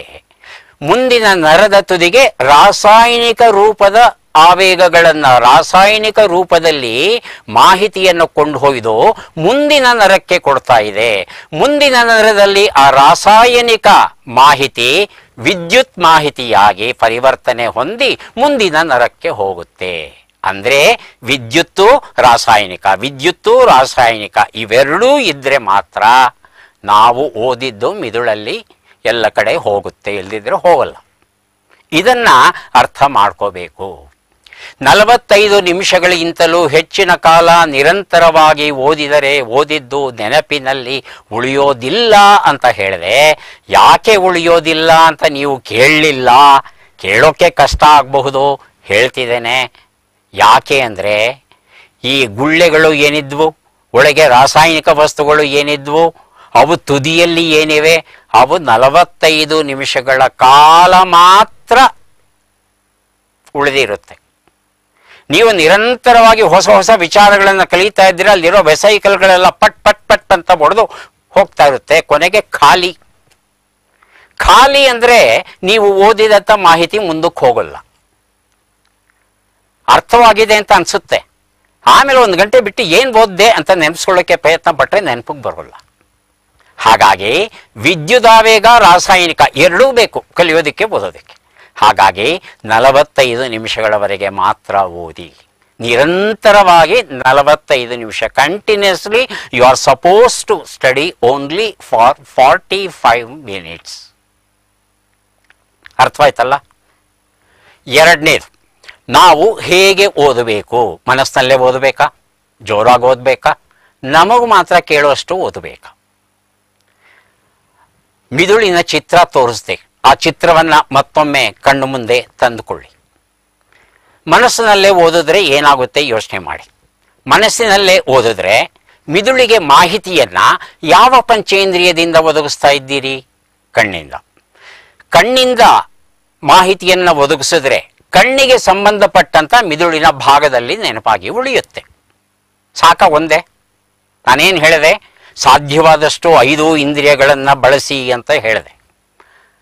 ಹಾಗಾಗಿ ನಿಮಗೆ ಮಾತ್ರ ಕೇಳಿಸುವಷ್ಟು ಜೋರಾಗಿ ಓದಿ. ಏನಾಗುತ್ತೆ ಅಂತ ಯೋಚನೆ ಮಾಡಿ. ಕಣ್ಣಿಂದ ನೋಡ್ತಾ ಇದ್ದೀರಾ? ಓದ್ತಾ ಇದ್ದೀರಾ? ನೀವು ಓದಿದ್ದನ್ನ ನೀವೇ ಕೇಳ್ತಾ ಇದ್ದೀರಾ? ಹಾಗಾಗಿ ಕಿವಿಗೆ ಸಂಬಂಧಪಟ್ಟಂತ ಮಿದುಳಿನ ಭಾಗದಲ್ಲೂ ನೆನಪು ಉಳಿಯುತ್ತೆ. ಜೊತೆಗೆ ನಿಮ್ಮ ಧ್ವನಿ ಪೆಟ್ಟಿಗೆ, ನಿಮ್ಮ ಧ್ವನ್ಯಂಗಗಳು ಕೆಲಸ ಮಾಡ್ತಾ ಇವೆ, ಓದ್ತಾ ಇವೆ, ಮಾತಾಡ್ತಾ ಇವೆ. ಅಲ್ವಾ? ಹಾಗಾಗಿ ಇವುಗಳನ್ನು ನಿಯಂತ್ರಿಸುವ ಕ್ಷೇತ್ರ ಏನಿದೆ, ಅಲ್ಲೂ ಸಹ ನೆನಪು ಉಳಿಯುತ್ತೆ. ಅಂದರೆ ಮನಸ್ಸಿನಲ್ಲೇ ಓದಿದ್ರೆ ಒಂದೇ ಕಡೆ ನೆನಪು. ನಿಮಗೆ ಮಾತ್ರ ಜೋರಾಗಿ ಕೇಳುವಷ್ಟು ಓದಿದ್ರೆ ಮೂರು ಕಡೆ ನೆನಪು. ಯಾಕೆ ನಾಲ್ಕು ಕಡೆ ಮಾಡಬಾರ್ದು? ಏನು ಮಾಡಬೇಕು ಅದಕ್ಕೆ? ಓದುವಾಗ ಮುಖ್ಯಾಂಶಗಳನ್ನು ಬರ್ಕೊಳ್ಳಿಕ್ಕೆ ಶುರು ಮಾಡಿ. ಇಡೀ ವಾಕ್ಯಗಳನ್ನು ಬರ್ಕೋಬಾರ್ದು. Point number one two three four five ಪಾಯಿಂಟ್ಸ್ಗಳನ್ನು ಮಾತ್ರ ಬರ್ಕೋಬೇಕು. ಹಾಗೇನಾಯಿತು? ನಾಲ್ಕು ಕಡೆ ನೀವು ಓದಿದ್ದು ದಾಖಲಾಗಿದೆ. ಒಂದು ಕಡೆ ದಾಖಲೆ ಆದರೆ ಒಳ್ಳೇದ, ನಾಲ್ಕು ಕಡೆ ದಾಖಲೆ ಆದರೆ ಒಳ್ಳೇದ. ಯಾವ ವಿಧಾನದಲ್ಲಿ ನೆನಪು ಚೆನ್ನಾಗಿರುತ್ತೆ? ದಯವಿಟ್ಟು ಆಲೋಚನೆ ಮಾಡಿ ಇದನ್ನ. ನಮಗೆ ಮಾತ್ರ ಕೇಳುವಷ್ಟು ಜೋರಾಗಿ ಓದ್ಕೋಬೇಕು. ಅದು ನಿಮಗೆ ತಿಳಿದಿದೆ. ಇಲ್ಲಿ ನೋಡಿ, ಈ ಚಿತ್ರವನ್ನು ಅರ್ಥ ಮಾಡಿಕೊಳ್ಳಿಕ್ಕೆ ನೋಡಿ. ಬೇರೆ ಬೇರೆ ಬಣ್ಣಗಳಲ್ಲಿ ತೋರಿಸಿದ್ದೇವೆ ಚಿತ್ರವನ್ನು. ಹಸಿರು ಬಣ್ಣ ಏನಿದೆ, ಅದು ತೀರಾ ಮುಖ್ಯವಾದಂಥ ಬಣ್ಣ. ನೆನಪು ಉಳಿಯುವಂಥ ಬಣ್ಣ. ಅದರಲ್ಲೂ ದೀರ್ಘಕಾಲಿಕ ನೆನಪು ಅಲ್ಲೇ ಉಳಿಯುತ್ತೆ. ನಾವು ನಮ್ಮ ಬಾಲ್ಯದಲ್ಲಿ ಕಲೆತಂತಹ ಅಕ್ಷರಮಾಲೆಯನ್ನ ಮಗ್ಗಿಯನ್ನ ಇವತ್ತಿಗೂ ಮರ್ತಿಲ್ಲ, ನೆನಪಲ್ಲಿ ಇದೆ ಅಂದರೆ ಅದಕ್ಕೆ ಮಿದುಳಿನ ಆ ಕ್ಷೇತ್ರ ಕಾರಣ. ಬೇರೆ ಬೇರೆ ಬಣ್ಣಗಳ ಕ್ಷೇತ್ರ, ಬೇರೆ ಬೇರೆ ಕೆಲಸವನ್ನ ಮಾಡುತ್ತೆ. ಆದರೆ ನಾವು ನಿದ್ರೆ ಮಾಡಿದಾಗ ಆ ಎಲ್ಲ ಮಾಹಿತಿಯನ್ನ ಮಿದುಳಿನ ಮುಂಭಾಗ ಸ್ವೀಕರಿಸಿ, ಯಾವುದು ನಮಗೆ ಅಗತ್ಯ ಅನ್ನೋದನ್ನ ನಿರ್ಧರಿಸಿ, ಅದನ್ನ ಸಾರ್ವಕಾಲಿಕ ನೆನಪಾಗಿ ಉಳಿಯೋದಕ್ಕೆ ಸಹಾಯ ಮಾಡುತ್ತೆ. ಅದು ಮಿದುಳಿನ ಆ ಭಾಗ. ಎರಡನೇದು ಕ್ಯೂ ಅಂತ ಹೇಳಿದೆ. ಕ್ವಶನ್ಸ್ ಓದುವಾಗ ಮುಖ್ಯಾಂಶಗಳನ್ನು ಗುರುತಿಸಿಕೊಂಡ ಹಾಗೆ ಚಾಪ್ಟರ್ ವೈಸ್ ಕ್ವಶನ್ ಬ್ಯಾಂಕ್ನ ಪಕ್ಕದಲ್ಲಿ ಇಟ್ಟುಕೊಂಡು ಓದ್ತಾ ಇರೋವಾಗಲೇ ಈ ವಿಷಯಕ್ಕೆ ಸಂಬಂಧಪಟ್ಟ ಹಾಗೆ ಎಷ್ಟು ಮೇನ್ ಕ್ವಶನ್ ಎಷ್ಟು ಶಾರ್ಟ್ ನೋಟ್ಸ್ ಎಷ್ಟು ಪ್ರಾಬ್ಲಮ್ಸ್ ಎಲ್ಲವನ್ನು ನೋಡ್ತಾ ಹೋಗಿ. ಹಾಗೆ ಆ ಪ್ರಶ್ನೆಗೆ ಉತ್ತರ ಗೊತ್ತಾಯ್ತಾ ನಿಮಗೆ? ಗೊತ್ತಾಗಲಿಲ್ವಾ? ಯಾಕೆ ಗೊತ್ತಾಗಲಿಲ್ಲ? ಅಲ್ಲೇ ಪ್ರಶ್ನೆ ಮಾಡಿಕೊಂಡು ಓದ್ಕೊಂಡು ಹೋಗಬೇಕು? ನಾಳೆಗೆ ಅಂತ ಇಟ್ಕೋಬಾರ್ದು. ಓದಿದ್ದು ನೆನಪಲ್ಲಿ ಉಳಿಬೇಕಾದ್ರೆ ಆ ಚಾಪ್ಟರ್ಗೆ ಸಂಬಂಧಪಟ್ಟಂತ ಅಷ್ಟೋ ಪ್ರಶ್ನೆಗಳನ್ನ ತಿಳ್ಕೋಬೇಕು ನೀವು. ಜೊತೆಗೆ ನಿಮ್ಮ ಸ್ವಂತ ಪ್ರಶ್ನೆಗಳು ನಿಮಗೆ ಅನ್ನಿಸ್ಬೋದು. ಓ, ಈ ಪ್ರಶ್ನೆ ಹೀಗೂ ಕೇಳ್ಬೋದಲ್ವಾ? ನಿಮ್ಮ ಗೆಳೆಯರು ಹೇಳ್ಬೋದು, ನಿಮ್ಮ ಅಧ್ಯಾಪಕರು ಹೇಳ್ಬೋದು, ನಿಮ್ಮ ಹಿರಿಯರು ಹೇಳ್ಬೋದು. ಅಲ್ವೇ? ಎಲ್ಲ ಪ್ರಶ್ನೆಗಳನ್ನು ಆ ಚಾಪ್ಟರ್ಗೆ ಸಂಬಂಧಪಟ್ಟ ಹಾಗೆ ಬರೆದಿಟ್ಕೋಬೇಕು. ಇದು ತೀರಾ ಮುಖ್ಯವಾದದ್ದು. ನಲವತ್ತು ನಿಮಿಷ ಓದಿದ್ರಿ ಅಲ್ವಾ? ಹತ್ತು ನಿಮಿಷ ಕಾಲ ಬೇರೆ ಕೆಲಸದಲ್ಲಿ ತೊಡಗಿ ಆರ್ ಟು ಅಂದರೆ ರಿಫ್ಲೆಕ್ಟ್. ರಿಫ್ಲೆಕ್ಟ್ ಅಂದರೆ ಏನು? ಕನ್ನಡದಲ್ಲಿ ಏನಂತ ಹೇಳ್ಬೋದು? ಇದನ್ನು ಮರುಸ್ಮರಣೆ ಅಂತ ಹೇಳ್ಬೋದು. ನಲವತ್ತು ನಿಮಿಷ ಓದಿದ್ರಿ, ಹತ್ತು ನಿಮಿಷ ಬೇರೆ ಕೆಲಸ ಮಾಡಿ, ನೀರು ಕುಡೀರಿ. ಅಮ್ಮನ ಹತ್ರ ಹೋಗಿ ಗೋಳು ಇಕ್ಕೊಂಡು ಚಕ್ಲಿ ನಿಪ್ಪಟ್ಟು ಕೋಡು ಬಳೆ ಇದ್ರೆ ತಗೊಂಬಂದು ತಿನ್ನಿ, ಕಾಫಿ ಕುಡೀರಿ, ತಂಗಿ ಜುಟ್ಟೆಳೀರಿ, ಏನು ಬೇಕಾದರೂ ಮಾಡಿ. ನಿಮ್ಮ ಓದಿಗೆ ಸಂಬಂಧಪಡದ ಕೆಲಸ. ಹತ್ತು ನಿಮಿಷ ಅಷ್ಟೇ, ಹೆಚ್ಚಲ್ಲ. ವಾಪಸ್ ಬಂದು ನಿಮ್ಮ ಓದುವ ಸ್ಥಳದಲ್ಲಿ ಕೂತ್ಕೊಳ್ಳಿ, ಕಣ್ಣು ಮುಚ್ಕೊಳ್ಳಿ. ಕಣ್ಣು ಮುಚ್ಚಿಕೊಂಡು ಆರ್ ಒನ್ ರೀಡ್. ಆ ಒಂದು ಕೆಲಸ ಮಾಡುವಾಗ ಮುಖ್ಯಾಂಶಗಳನ್ನು ಗುರುತಿಸ್ಕೊಂಡಿದ್ದೀರಿ. ಒಂದು, ಎರಡು, ಮೂರು, ನಾಲ್ಕು, ಹತ್ತು ಅಂಶಗಳನ್ನು ಗುರುತಿಸ್ಕೊಂಡಿದ್ದೀರಿ. ಆ ಹತ್ತು ಅಂಶಗಳನ್ನು ನಿಮ್ಮ ಕಣ್ಣ ಮುಂದೆ ತಂದುಕೊಳ್ಳಿ. ಒಂದು, ಎರಡು, ಮೂರು, ನಾಲ್ಕು, ಐದು, ಆರು, ಹತ್ತು. ಎಲ್ಲವೂ ಕ್ರಮಬದ್ಧವಾಗಿರಬೇಕು. ಒಂದು ಅಂಶ ಆದಮೇಲೆ ಇನ್ನೊಂದು ಅಂಶ ಎಲ್ಲೆಲ್ಲೋ ಬರೋದಲ್ಲ. ಕ್ರಮಬದ್ಧವಾಗಿ ಬರಬೇಕು. ಬಂದಿದೆ ಅಂತ ಅನಿಸಿದ ಕೂಡಲೇ ಅದನ್ನು ಒಂದು ಕಾಗದದಲ್ಲಿ, ಒಂದು ಹಾಳೆಯಲ್ಲಿ ಬರೀರಿ. ಬರೆದಾದ ಕೂಡಲೇ ನಿಮ್ಮ ಮೂಲ ಪಟ್ಟಿ ಇದೆಯಲ್ಲ, ನೀವು ಬರ್ಕೊಂಡಿದ್ದು ಹತ್ತು ಅಂಶಗಳು, ಅದ್ರ ಜೊತೆ ತಾಳೆ ಹಾಕಿ. ಸರಿಯಾಗಿ ಬರೆದಿದ್ದೀರಾ ನೋಡಿ. ಸರಿಯಾಗಿ ಬರೆದಿಲ್ಲ, ತಪ್ಪಾಗಿದೆ, ಕ್ರಮ ತಪ್ಪಿದೆ ಅಂದರೆ ಮತ್ತೆ ಆರ್ ಒನ್ ಪುನರಾವರ್ತನೆ. ಪಕ್ಕ ಆಗದೆ ಮುಂದಕ್ಕೆ ಹೋಗ್ಬಾರ್ದು. ಆರ್ ಒನ್ ಪಕ್ಕ ಆದಮೇಲೆ ಆರ್ ಟೂಗೆ ಬರಬೇಕು. ಎಲ್ಲ ನೆನಪಿಗೆ ಬಂತು, ಎಲ್ಲ ಬರೆದ್ರಿ, ಖುಷಿ ಆಯಿತು ಮನಸ್ಸಿಗೆ. ಅಲ್ವೇ? ಹಾಗೆಯೇ ಚಿತ್ರಗಳಿದ್ರೆ, ಸೂತ್ರಗಳಿದ್ರೆ, ಲೆಕ್ಕಗಳಿದ್ರೆ ಎಲ್ಲವನ್ನೂ ಮಾಡಿ ಖಚಿತಪಡಿಸ್ಕೋಬೇಕು. ನೀವು ಗಮನವಿಟ್ಟು ಓದಿದ್ರೆ ಈ ಎಲ್ಲ ಅಂಶಗಳು ನೆನಪಿಗೆ ಬರುತ್ತೆ. ಸುಲಭವಾಗಿ ನೀವು ಉತ್ತರವನ್ನು ಬರೀಬಹುದು. ರಿಫ್ಲೆಕ್ಟ್ ಮುಖ್ಯವಾದದ್ದು ಮೂರನೇದು ಆರ್ ತ್ರೀ ರೈಟ್ ಅಂತ ನಾವು ಹೇಳ್ತೇವೆ, ಬರೆಯುವುದು ಅಂತ ಹೇಳ್ಬೋದು. ಸ್ಮರಣೆಗೆ ಬಂದ ಮುಖ್ಯಾಂಶಗಳನ್ನು ಬರೆದು ನೋಡಿದ್ರಿ, ಚಿತ್ರಗಳನ್ನು ಬರೆದು ಭಾಗಗಳನ್ನು ಗುರುತಿಸಿ ಪರೀಕ್ಷೆ ಮಾಡಿದ್ರಿ, ಸೂತ್ರ, ರಾಸಾಯನಿಕ ಕ್ರಿಯೆ, ಲೆಕ್ಕ ಇತ್ಯಾದಿಗಳನ್ನು ಬರೆದು ಅಭ್ಯಾಸ ಮಾಡಿದ್ರಿ ಪುಸ್ತಕ ತೆಗೆದು ಸರಿಯಾಗಿದೆಯಾ ಇಲ್ವಾ ಅನ್ನೋದನ್ನು ಖಚಿತಪಡಿಸ್ಕೊಂಡ್ರಿ. ಹಾಗೇನೆ, ರೈಟಲ್ಲಿ ಮುಖ್ಯವಾದದ್ದು ಏನು ಅಂದರೆ ಚಾಪ್ಟರ್ ವೈಸ್ ಕ್ವಶನ್ ಬ್ಯಾಂಕಲ್ಲಿ ಏನು ಕ್ವಶನ್ಗಳಿವೆ ಅವೆಲ್ಲಕ್ಕೂ ಉತ್ತರವನ್ನು ಬರೆದು ಅಭ್ಯಾಸ ಮಾಡಬೇಕು. ಓದಿ ಅಭ್ಯಾಸ ಮಾಡೋದಲ್ಲ. ಅನೇಕ ವಿದ್ಯಾರ್ಥಿಗಳು ಮಾಡೋ ತಪ್ಪು ಕೆಲಸ ಅಂದರೆ ಓದ್ತಾರೆ, ನನಗೆ ಗೊತ್ತಿದು, ಇದೇನು ಮಹಾ, ನಾನು ಬರಿತೀನಿ. ಅತಿಯಾದ ಆತ್ಮವಿಶ್ವಾಸ ಬೇಡ. ಖಂಡಿತ ಬೇಡ. ಹಾಗಾಗಿ ಚಾಪ್ಟರ್ ವೈಸ್ ಕ್ವಶನ್ ಬ್ಯಾಂಕಲ್ಲಿ ಇರ್ತಕ್ಕಂಥ ಪ್ರಶ್ನೆಗಳಿಗೆ ಬರೆದು ಮೊದಲು ಪುಸ್ತಕ ನೋಡಿಕೊಂಡೇ ಉತ್ತರ ಬರೀರಿ, ತಪ್ಪೇನಿಲ್ಲ. ಆದರೆ ನಂತರ ಪುಸ್ತಕವನ್ನು ನೋಡದೆ ಬರೀಬೇಕು. ಇಡೀ ಉತ್ತರವನ್ನು ನೆನಪಿಟ್ಕೊಳ್ಳೋದಕ್ಕಿಂತ ಅಂಶಗಳನ್ನು ನೆನಪಿಟ್ಕೊಂಡು, ಅಂಶಗಳನ್ನು ಜ್ಞಾಪಿಸ್ಕೊಂಡು ನಿಮ್ಮದೇ ಆದ ವಾಕ್ಯಗಳಲ್ಲಿ ಉತ್ತರ ಬರೆಯೋದನ್ನು ಅಭ್ಯಾಸ ಮಾಡಿ.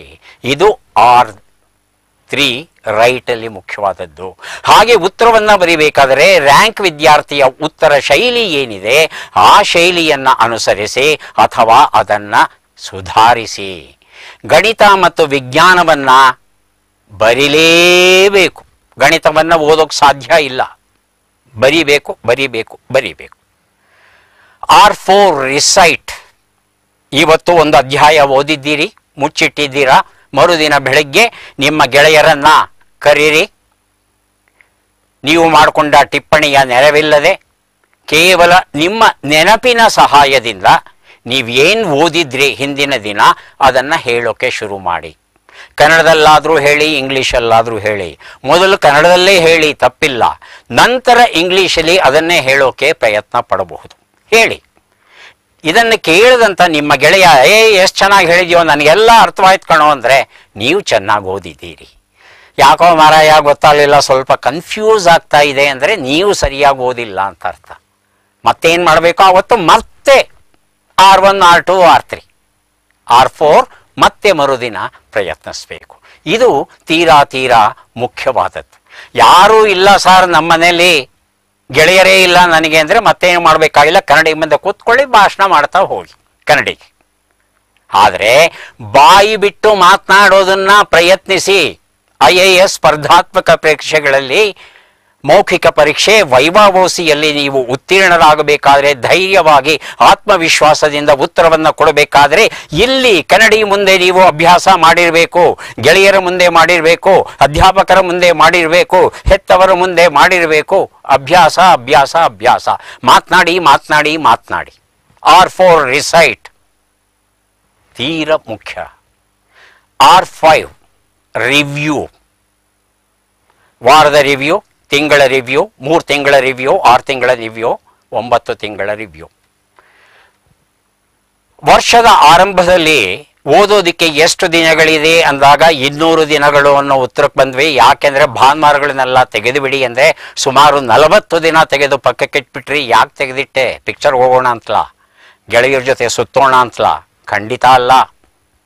ಭಾನುವಾರ ಅಂದ್ರೆ review Sundays are meant only for review ಮಂಡೆಯಿಂದ, ಸೋಮವಾರದಿಂದ, ಶನಿವಾರದವರೆಗೆ ಏನು ಓದಿದ್ದೀರಿ? ಜೂನ್ ತಿಂಗಳು. ಮೊದಲನೇ ವಾರ. ಸೋಮವಾರದಿಂದ, ಶನಿವಾರದವರೆಗೆ ಏನು ಓದಿದ್ದೀರಿ? ಅದರ review first Sunday second Sunday June ಮೊದಲನೇ ವಾರ, ಎರಡನೇ ವಾರ. ಏನು ಓದಿದ್ದೀರಿ? ಅದರ ಎರಡೂ ವಾರಗಳ review second Sunday third Sunday ಮೂರು ವಾರಗಳ ರಿವ್ಯೂ ಫೋರ್ತ್ ಸಂಡೇ ಇಡೀ ತಿಂಗಳಲ್ಲಿ ಏನು ಓದಿದ್ದೀರಿ? ಅದರ ರಿವ್ಯೂ ಫೋರ್ತ್ ಸಂಡೇ ಮಾಡಲೇಬೇಕು. ಹೀಗೆಯೇ ಜೂನ್ ತಿಂಗಳು ಜುಲೈ ತಿಂಗಳು ಆಗಸ್ಟ್ ತಿಂಗಳು. ಮೂರು ತಿಂಗಳ ರಿವ್ಯೂನ ಆಗಸ್ಟ್ ಫೋರ್ತ್ ಸಂಡೇ ಮಾಡಬೇಕು. ಹಾಗೆಯೇ six months review nine months review ಯಾರು ರಿವ್ಯೂ ರಿವ್ಯೂ ರಿವ್ಯೂ ಮಾಡ್ತಾರೋ, ಅತಿಯಾದ ಆತ್ಮವಿಶ್ವಾಸ ನನಗೆ ಗೊತ್ತು ಅಂತ ಹೇಳಿದೆ, ಗೊತ್ತಿದ್ರೂ ಪರವಾಗಿಲ್ಲ. ತಣ್ಣಗಿದ್ರೂ ತಣಿಸಿ ಕುಡಿತೇನೆ ನಾನು. ಅನ್ನೋ ಮನೋಭಾವ ಯಾರಿಗಿರುತ್ತೆ? ಆತ ಯಶಸ್ಸನ್ನು ಗಳಿಸ್ತಾನೆ. Review review review. ಹಾಗೇನೆ, ನಿಗದಿತ ಅವಧಿಯಲ್ಲಿ ಉತ್ತರವನ್ನು ಬರೆಯುವ ಅಭ್ಯಾಸ. ವೇಗವಾಗಿ ಬರೀಬೇಕು, ತಪ್ಪಿಲ್ಲದ ಹಾಗೆ ಬರೀಬೇಕು, ದುಂಡೆಗೆ ಬರೀಬೇಕು. ಇದನ್ನೂ ಸಹ ಅಭ್ಯಾಸ ಅಭ್ಯಾಸ ಅಭ್ಯಾಸ. ಅಭ್ಯಾಸ ಮಾಡಿಯೇ ಕಲಿಬೇಕಾಗುತ್ತೆ.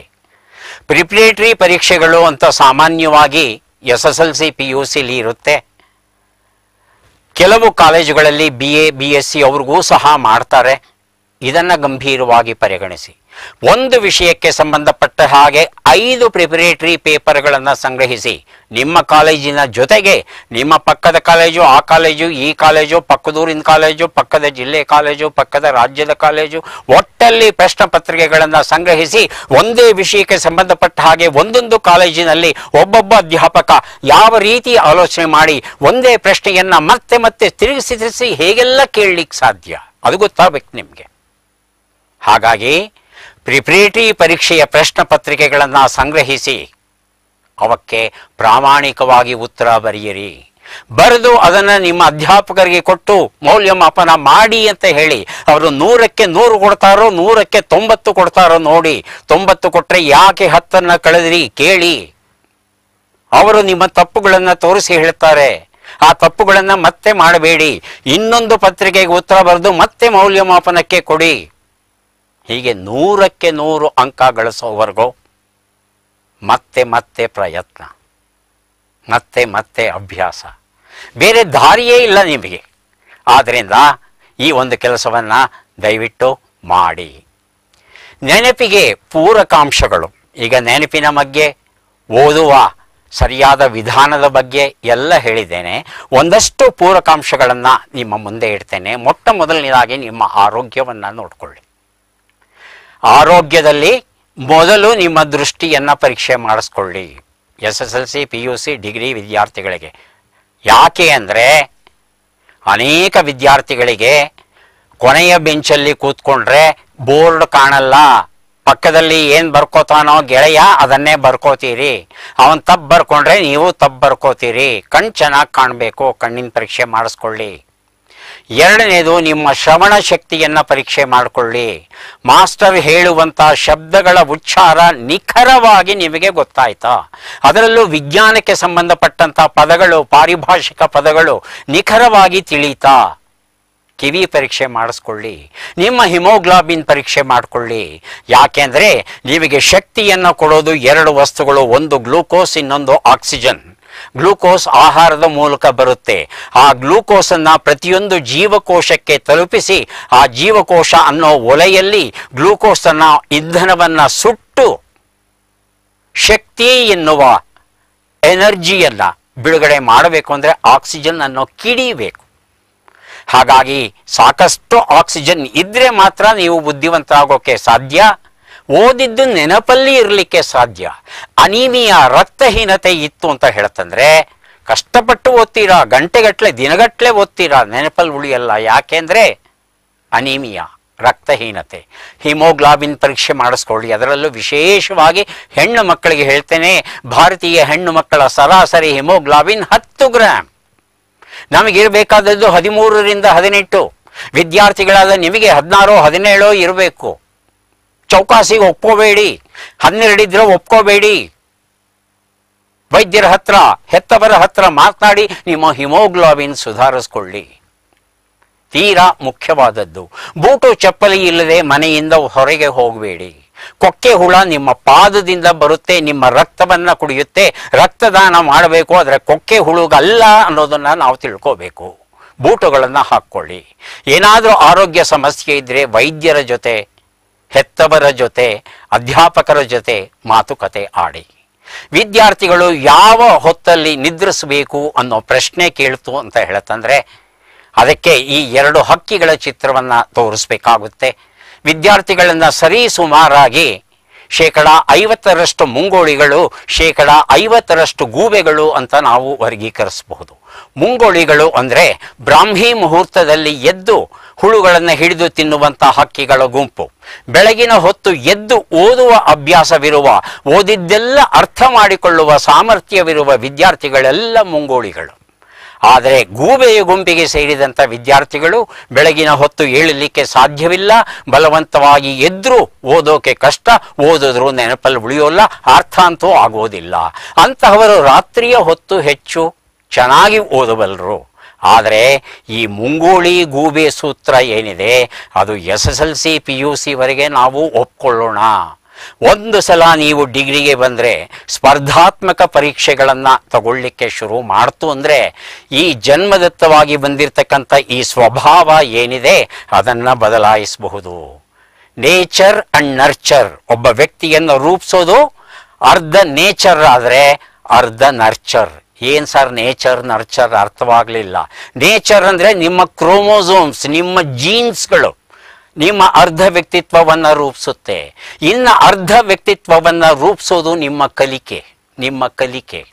ಹಾಗಾಗಿ, ನೀವು ಮುಂಗೋಳಿಗಾದರೂ ಸೇರಿರಿ, ಗೂಬೆ ಗುಂಪಿಗಾದರೂ ಸೇರಿರಿ, ಒಂದು ಸಲ ಸ್ಪರ್ಧಾತ್ಮಕ ಪರೀಕ್ಷೆಗಳನ್ನು ತಗೊಳ್ಳಿಕ್ಕೆ ಶುರು ಮಾಡ್ತು ಸಮಯ ಸಿಕ್ಕಾಗೆಲ್ಲ ಓದುವುದನ್ನ, ಓದಿ ಅರ್ಥ ಮಾಡ್ಕೊಳ್ಳೋದನ್ನ ಪ್ರಯತ್ನಿಸಿ ಪ್ರಯತ್ನ ಪಟ್ಟರೆ ಆ ವಯಸ್ಸಲ್ಲಿ ಸಾಧ್ಯ.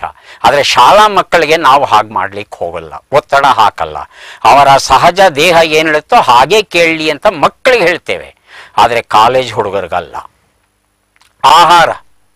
ಪ್ರತಿದಿನ ಐದು ಬೇರೆ ಬೇರೆ ಹಣ್ಣು ತಿನ್ನಬೇಕು ಐದು ಬಾಳೆಹಣ್ಣು ತಿನ್ನೋದಲ್ಲ. ಐದು ಬೇರೆ ಬೇರೆ ಹಣ್ಣು. ಆಯಾ ಋತುವಲ್ಲಿ ಸಿಗುವಂತ ಹಣ್ಣನ್ನ ತಿನ್ನಿ. ಪ್ರತಿದಿನ ಮೂರು ತರಕಾರಿ ತಿನ್ನಿ. ಅದರಲ್ಲಿ ಒಂದು ಸೊಪ್ಪಿರಬೇಕು.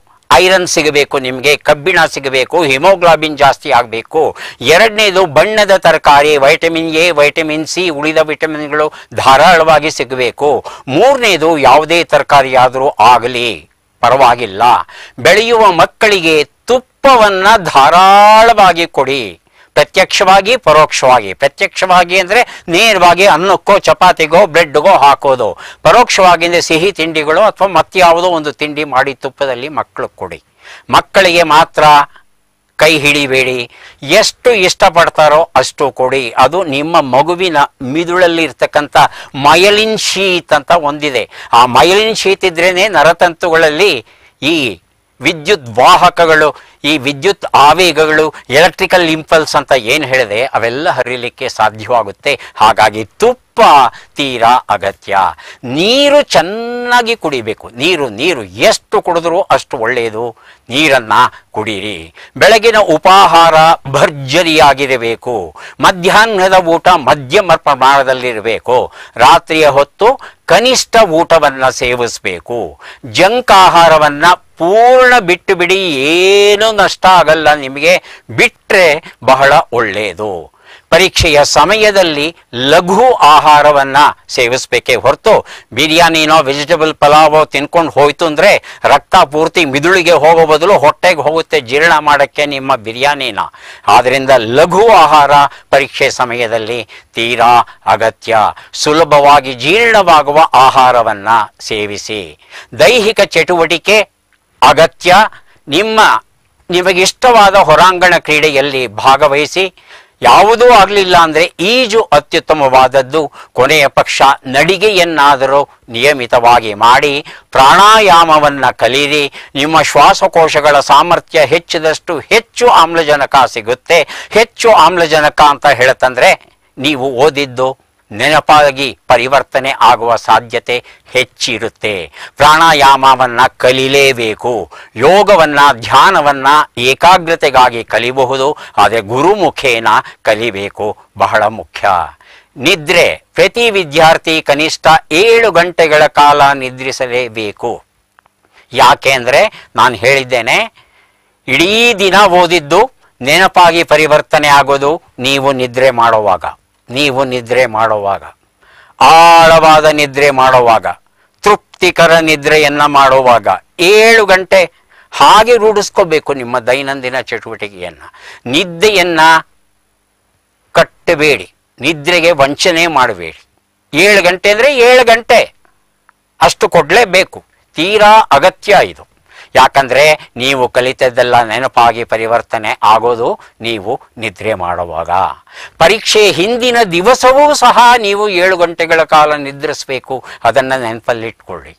ವರ್ಷದ ಆರಂಭದಿಂದ ಓದೋಕ್ಕೆ ಶುರು ಮಾಡ್ತು ಅಂದರೆ ಪರೀಕ್ಷೆಯ ಹಿಂದಿನ ದಿವಸವೂ ನೀವು ಏಳು ಗಂಟೆಗಳ ಕಾಲ ನಿದ್ರವನ್ನ ಮಾಡಬಹುದು. ಹಗಲಲ್ಲಿ ಏನು ಕಲ್ತಿದ್ದೀರಿ? ನಿದ್ರೆಯಲ್ಲಿನ ಏನು ಮಾಡ್ತಾ ಇದ್ದೀರಿ? ಆಗ ಮೆಮೊರಿ ಕನ್ಸಾಲಿಡೇಷನ್ ಆಗುತ್ತೆ.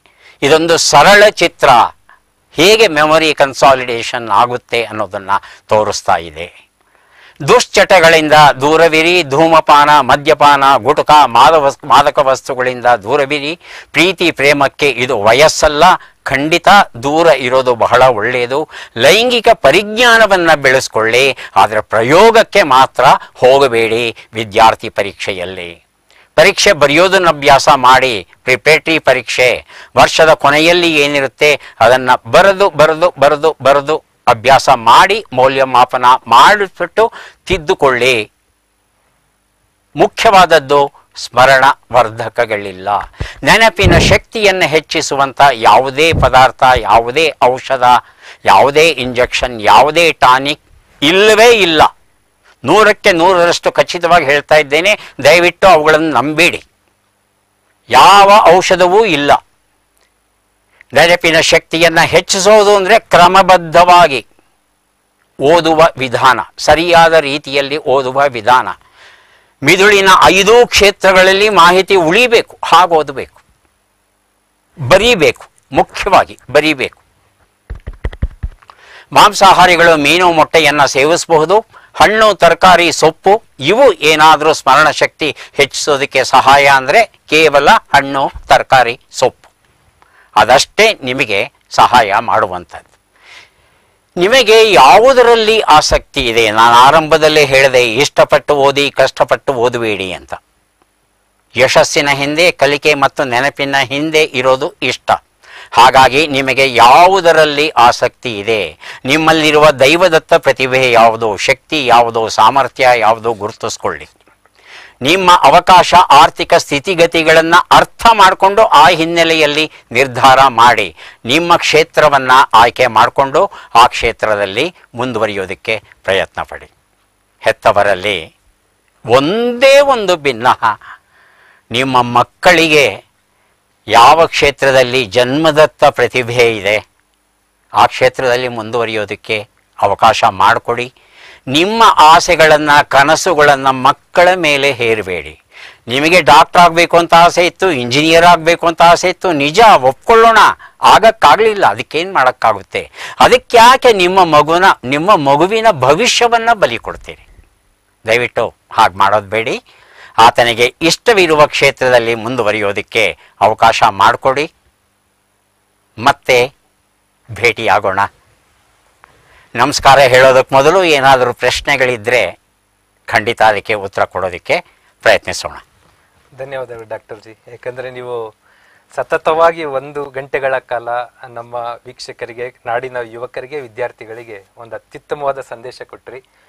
ಸಾವಿರಕ್ಕೂ ಹೆಚ್ಚು ಜನ ಲೈವ್ನಲ್ಲೇ ನೋಡ್ತಾ ಇದ್ದಾರೆ. ನೇರ ಪ್ರಸಾರದಲ್ಲೇ ಒಂದು ಸಾವಿರದ ಮುನ್ನೂರಷ್ಟು ಜನ ನೋಡ್ತಾ ಇದ್ದಾರೆ ಈಗ. ಇದು ಇನ್ನೂ ಹೆಚ್ಚಾಗುತ್ತೆ ವೀಕ್ಷಣೆ. ಒಂದಷ್ಟು ಪ್ರಶ್ನೆಗಳು ಬಂದಿದೆ. ನೀವೆಲ್ಲ ಉತ್ತರ ಕೊಟ್ಟಿದ್ದೀರಾ? ಒಂದು ನಾಲ್ಕೈದು ಪ್ರಶ್ನೆ ತಗೊಳ್ಳೋಣ ಕಾಮೆಂಟ್ ದಯವಿಟ್ಟು. ಓದ್ತಿದ್ದೀವಿ. ಓದ್ತಿದೀವಿ ಓದಕ್ ಕೂತ ಕೂಡಲೇ ನಮಗೆ ಬೇರೆ ಟೈಮಲ್ಲಿ ಏನು ನೆನಪಾಗಲ್ಲ. ನಾನು ಫಿಲ್ಮ್ಗೆ ಹೋಗ್ತೀನಿ ಎಲ್ಲ ಹೋಗ್ತೀನಿ. But when I sit for read ನನಗೆ ಭೂತಕಾಲ ಮನೆ ಕಷ್ಟಗಳೆಲ್ಲ ನೆನಪಾಗ್ತವೆ. ಓದ ಕೂತಾಗ. ಆವಾಗ ನಾನು ರಿಮೈಂಡ್ ಮಾಡೋಕ್ಕಾಗ್ತಾ ಆಗ್ತಾ ಇಲ್ಲ ಸ್ಟಡಿ ಕಾನ್ಸಂಟ್ರೇಟ್ ಮಾಡಕ್ ಆಗ್ತಾ ಇಲ್ಲ. ಇದಕ್ಕೇನು ಪರಿಹಾರ ಇದಕ್ಕೆ ಒಂದು ಪೇಪರು ಪೆನ್ನು ತಗೊಳ್ಳಿ. ಬರಿತಾ ಹೋಗಿ. ನಿಮ್ಮ ಮನೆಯ ಕಷ್ಟಗಳು. ಒಂದು ಕಡೆ ಪೇಪರಲ್ಲಿ ಬರೀರಿ. ಆ ಕಷ್ಟಗಳಿಗೆ ಯಾವ ರೀತಿ ಪರಿಹರಿಸ್ಬೋದು ಅವನ್ನ? ಅದನ್ನು ಬರೀರಿ. ಆಮೇಲೆ ಯಾರು ಪರಿಹರಿಸ್ಬೇಕು? ಅದನ್ನು ಬರೀರಿ. ಯೋಚನೆ ಮಾಡಿ. ಪರಿಹರಿಸ್ಬೇಕಾದ ನೀವೇ. ನೀವು ಚೆನ್ನಾಗಿ ಓದಿ ಹಣವನ್ನು ಸಂಪಾದನೆ ಮಾಡಿದರೆ ನಿಮ್ಮ ಹೆತ್ತವರ ಮೇಲೆ ಇರತಕ್ಕಂಥ ಸಮಸ್ಯೆ, ಭಾರ ಏನಿದೆ ನೀವು ಆರಿಸಬಹುದು.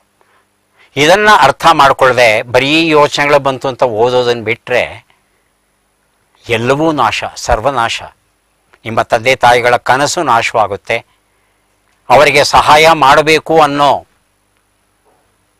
ಇಷ್ಟ ಏನಿದೆ ನಿಮ್ಮದು? ಅದು ಕೈಗೂಡಲ್ಲ. ಹಾಗಾಗಿ ಮನಸ್ಸಿಗೆ ಹೇಳಬೇಕು ನೀವು, ಮನಸ್ಸೇ ಇದು ನಾನು ಓದುವ ಸಮಯ. ನನಗೆ ತೊಂದರೆ ಕೊಡಬೇಡ. ಏಕಾಗ್ರತೆ ಕೊಡು ಅಂತ you must command your mind ನೀವು ಹೇಳಿದಾಗೆ ನಿಮ್ಮ ಮನಸ್ಸು ಕೇಳಬೇಕೇ ಹೊರತು ನಿಮ್ಮ ಮನಸ್ಸು ಹೇಳಿದಾಗೆ ನೀವು ಕೇಳೋದಲ್ಲ. ಕಮ್ಯಾಂಡ್ ಮಾಡಿ. ಒಂದು ದಿನ ಕಷ್ಟವಾಗುತ್ತೆ, ಎರಡು ದಿನ ಕಷ್ಟವಾಗುತ್ತೆ, ಮೂರನೇ ದಿನ ಸಾಧ್ಯವಾಗುತ್ತೆ. ಆದ್ದರಿಂದ ದೃಢ ನಿಶ್ಚಯ. ಅದು ಬಹಳ ಮುಖ್ಯ. ಧನ್ಯವಾದಗಳು, ಡಾಕ್ಟರ್. ಈಗ ಇನ್ನೊಂದು ಪ್ರಶ್ನೆ ಬಂದಿದೆ. ತುಂಬಾ ಮೋಟಿವೇಟರ್ಗಳು ನಮಗೆ left hemisphere brain right hemisphere brain ಇರುತ್ತೆ. ಅದರಿಂದ ಲೆಫ್ಟ್ ಹ್ಯಾಂಡರ್ಸ್ಗಳ ಮೆಮೊರಿ ಪವರ್ ಸ್ವಲ್ಪ ಜಾಸ್ತಿ ಇರುತ್ತೆ ಅಂತ ಕೇಳಿದ್ದೀವಿ ಇದ್ರ ಬಗ್ಗೆ ನಿಮ್ಮ ಅಭಿಪ್ರಾಯ ಅಂತ ಕೇಳಿದ್ದಾರೆ. ಸದ್ಯಕ್ಕೆ ಈ ಎಡ ಅರೆಗೋಳ, ಬಲ ಅರೆಗೋಳ ಲೆಫ್ಟ್ ಹೆಮಿಸ್ಫಿಯರ್ ರೈಟ್ ಹೆಮಿಸ್ಫಿಯರ್ ಏನಿದೆ ಇದ್ರ ಬಗ್ಗೆ ತಲೆ ಕೆಡಿಸ್ಕೋಬೇಡಿ. ಈ ಲೆಫ್ಟ್ ಹೆಮಿಸ್ಫಿಯರ್, ರೈಟ್ ಹೆಮಿಸ್ಫಿಯರ್ ಬಗ್ಗೆ ಮಾತುಕತೆ ಆದಾಗ ಅಂತಿಮವಾಗಿ ಒಂದು ಸಂದೇಶ ಕೊಡ್ತೇವೆ. ಏನು ಗೊತ್ತಾ? ಸವ್ಯಸಾಚಿಗಳಾಗಿ ಸವ್ಯಸಾಚಿಗಳಾಗಿ. ಏನು ಸವ್ಯಸಾಚಿ ಅಂದರೆ? ಏನಿದರ ಅರ್ಥ? ಅರ್ಜುನ ಇದಾನಲ್ಲ ಮಹಾಭಾರತದಲ್ಲಿ ಆತನಿಗೆ ಹತ್ತು ಹೆಸರು. ಆ ಹತ್ತು ಹೆಸರಲ್ಲಿ ಒಂದು ಸವ್ಯಸಾಚಿ. ಯಾಕೆ ಅವನಿಗೆ ಸವ್ಯಸಾಚಿ ಅನ್ನೋ ಹೆಸರು ಬಂತು ಅಂದರೆ, ಬಲಗೈಯಿಂದ ಎಷ್ಟು ಚೆನ್ನಾಗಿ ಬಾಣವನ್ನು ಬಿಡಬಲ್ಲನೋ, ಅಷ್ಟೇ ಚೆನ್ನಾಗಿ ಎಡಗೈಯಿಂದಲೂ ಬಿಡಬಲ್ಲ ಅವನು. ಎರಡೂ ಕೈಗಳನ್ನು, ಅಂದರೆ ಮಿದುಳಿನ ಎರಡೂ ಅರೆಗೋಳಗಳನ್ನು ಸರಿ ಸಮಾನವಾಗಿ ಬಳಸುವ ಸಾಮರ್ಥ್ಯವನ್ನು ಗಳಿಸಿಕೊಂಡ. ವಿದ್ಯಾರ್ಥಿಗಳಾದ ನಾವು ಅಷ್ಟೇ. Left brain, right brain. Left hemisphere, right hemisphere. ಎರಡೂ ಮಿದುಳನ್ನು ಸರಿ ಸಮಾನವಾಗಿ ಬಳಸೋದಕ್ಕೆ ಪ್ರಯತ್ನಿಸಬೇಕು. ಇದಕ್ಕೆ ಜಾಸ್ತಿ ಇದೆ, ಇದಕ್ಕೆ ಕಡಿಮೆ ಇದೆ. ಎಲ್ಲೂ ಅದಕ್ಕೆ ವೈಜ್ಞಾನಿಕ ಪುರಾವೆ ಇಲ್ಲ. ಲೆಫ್ಟ್ ಹ್ಯಾಂಡರ್ಸ್ ಯಾಕೆ ಸ್ವಲ್ಪ ಬುದ್ಧಿವಂತರು ಅಂದರೆ ಅವ್ರು ಹೆಚ್ಚು ಚುರುಕಾಗಿರ್ತಾರೆ ಅವರು. ಕನಸುಗಳು ಬಹಳ ಇರುತ್ತೆ ಅವರಿಗೆ. ಲೆಫ್ಟ್ ಹ್ಯಾಂಡ್ ಯಾರಿಗೆ ಚುರುಕಾಗಿರುತ್ತೋ ಅವರಿಗೆ ರೈಟ್ ಹೆಮಿಸ್ಫಿಯರ್ ಚೆನ್ನಾಗಿರುತ್ತೆ. Right hemisphere left side of the ಬಾಡಿನ control ಮಾಡ್ತಂದ್ರೆ left hemisphere right side of the ಬಾಡಿನ ಕಂಟ್ರೋಲ್ ಮಾಡುತ್ತೆ. ಹಾಗಾಗಿ ಇಲ್ಲಿ ಜಾಸ್ತಿ ಬುದ್ಧಿವಂತಿಕೆ ಇದೆ ಇಲ್ಲಿ ಜಾಸ್ತಿ ಬುದ್ಧಿವಂತಿಕೆ ಇದೆ ಅವೆಲ್ಲ ತಲೆ ಕೆಡಿಸ್ಕೋಬೇಡಿ.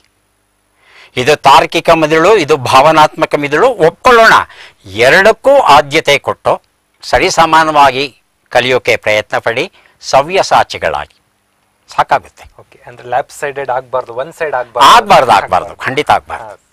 ಡಾಕ್ಟರ್ ಜಿ ಈಗ ಎಕ್ಸಾಮ್ ಹಾಲ್ನಲ್ಲಿ ಭಯ ಆಗುತ್ತೆ, ಮರ್ತು ಹೋಗುತ್ತೆ. ನೀವು ನೆನಪಿನ ಬಗ್ಗೆ ಹೇಳಿದ್ರಿ ಬಟ್ ಎಲ್ಲಾ ಕಡೆ ನೆನಪಿರುತ್ತೆ, ನನಗೆ ಎಕ್ಸಾಮ್ ಹಾಲಲ್ಲಿ ಓದ್ಕೊಳ್ಳಿ ಮರೆಯುತ್ತೆ. ಒಪ್ಕೊಂಡೆ ನಾನು. ನನಗೂನು ಈ ತರ ಕಷ್ಟ ಆಗಿತ್ತು, ಇಲ್ಲ ಅಂತ ನಾ ಹೇಳಲ್ಲ. ಆ ಎಕ್ಸಾಮ್ ಹಾಲ್ ಭಯ ಹೋಗ್ಬೇಕು ಅಂದ್ರೆ ಪ್ರಿಪೇಟರಿ ಎಕ್ಸಾಮ್ಗಳು ಬರೀಬೇಕು. ನಿಮ್ಮ ಶಾಲೆಯಲ್ಲಿ ಸ್ಕೂಲಲ್ಲಿ ಅಥವಾ ಕಾಲೇಜಲ್ಲಿ ಒಂದು ಪೇಪರ್ ಕೊಟ್ಟು ಬರೆಸ್ಬಿಡ್ತಾರೆ, ಆಗೋಯ್ತು. ನಾನು ಹೇಳಿದೆ, ಒಂದು ಐದು ಪೇಪರ್ಗಳನ್ನ ಬೇರೆ ಬೇರೆ ಕಾಲೇಜಿಂದ ಸಂಗ್ರಹಿಸಿ ಅಂತ. ಅದನ್ನು ತಂದು ಬಿಟ್ಟು ಮನೆಯಲ್ಲಿ ಬೆಳಗ್ಗೆ ಆರು ಗಂಟೆಗೆ ಎದ್ದು ಒಂದಷ್ಟು ಹೊಟ್ಟೆಗೆ ತಿಂದು ನೀವು ಗಡಿಯಾರ ಇಟ್ಕೊಂಡು ಪೇಪರ್ ಇಟ್ಕೊಂಡು ಬರೆಯೋಕ್ಕೆ ಶುರು ಮಾಡಬೇಕು. ಒಂದೊಂದು ಸಬ್ಜೆಕ್ಟಿಗೆ ಐದೈದು ಪೇಪರ್ ಬಿಡಿಸ್ಬೇಕು. ಎಸ್ ಎಲ್ ಸಿನಲ್ಲಿ ಎಷ್ಟಿರುತ್ತೆ ಆರು ಸಬ್ಜೆಕ್ಟ್ ಇರುತ್ತೆ. ಆರೈದಲ್ಲ ಮೂವತ್ತು. ಮೂವತ್ತು ಎಕ್ಸಾಮ್ ಪೇಪರ್ಗಳನ್ನು ಬರೆದಿದ್ದೀವಿ ಮೂವತ್ತು ಪೇಪರ್. ಹಾಗಾಗಿ ರಿಯಲ್ ಎಕ್ಸಾಮ್ಗೆ ಹೋದಾಗ ಅಲ್ಲಿ ಮೂವತ್ತೊಂದು, ಮೂವತ್ತೆರಡು, ಮೂವತ್ತ್ಮೂರು, ಮೂವತ್ತ್ನಾಲ್ಕು, ಮೂವತ್ತೈದು, ಮೂವತ್ತಾರು ಆಗುತ್ತೆ. ಮೂವತ್ತನ್ನ ಧೈರ್ಯವಾಗಿ ಬರೆದವ್ರಿಗೆ ಮೂವತ್ತೊಂದರಿಂದ ಮೂವತ್ತಾರು ಬರೆಯೋದೇನು ಕಷ್ಟ ಇಲ್ಲ. ಎಲ್ಲರೂ ಮಾಡೋ ತಪ್ಪೇನು ಗೊತ್ತಾ? ನೇರವಾಗಿ ಫೈನಲ್ ಎಕ್ಸಾಮಲ್ಲೇ ಉತ್ತರ ಬರೆಯೋದಕ್ಕೆ ಹೋಗ್ತಾರೆ. ಆ ಕೆಲಸ ಮಾಡಬೇಡಿ.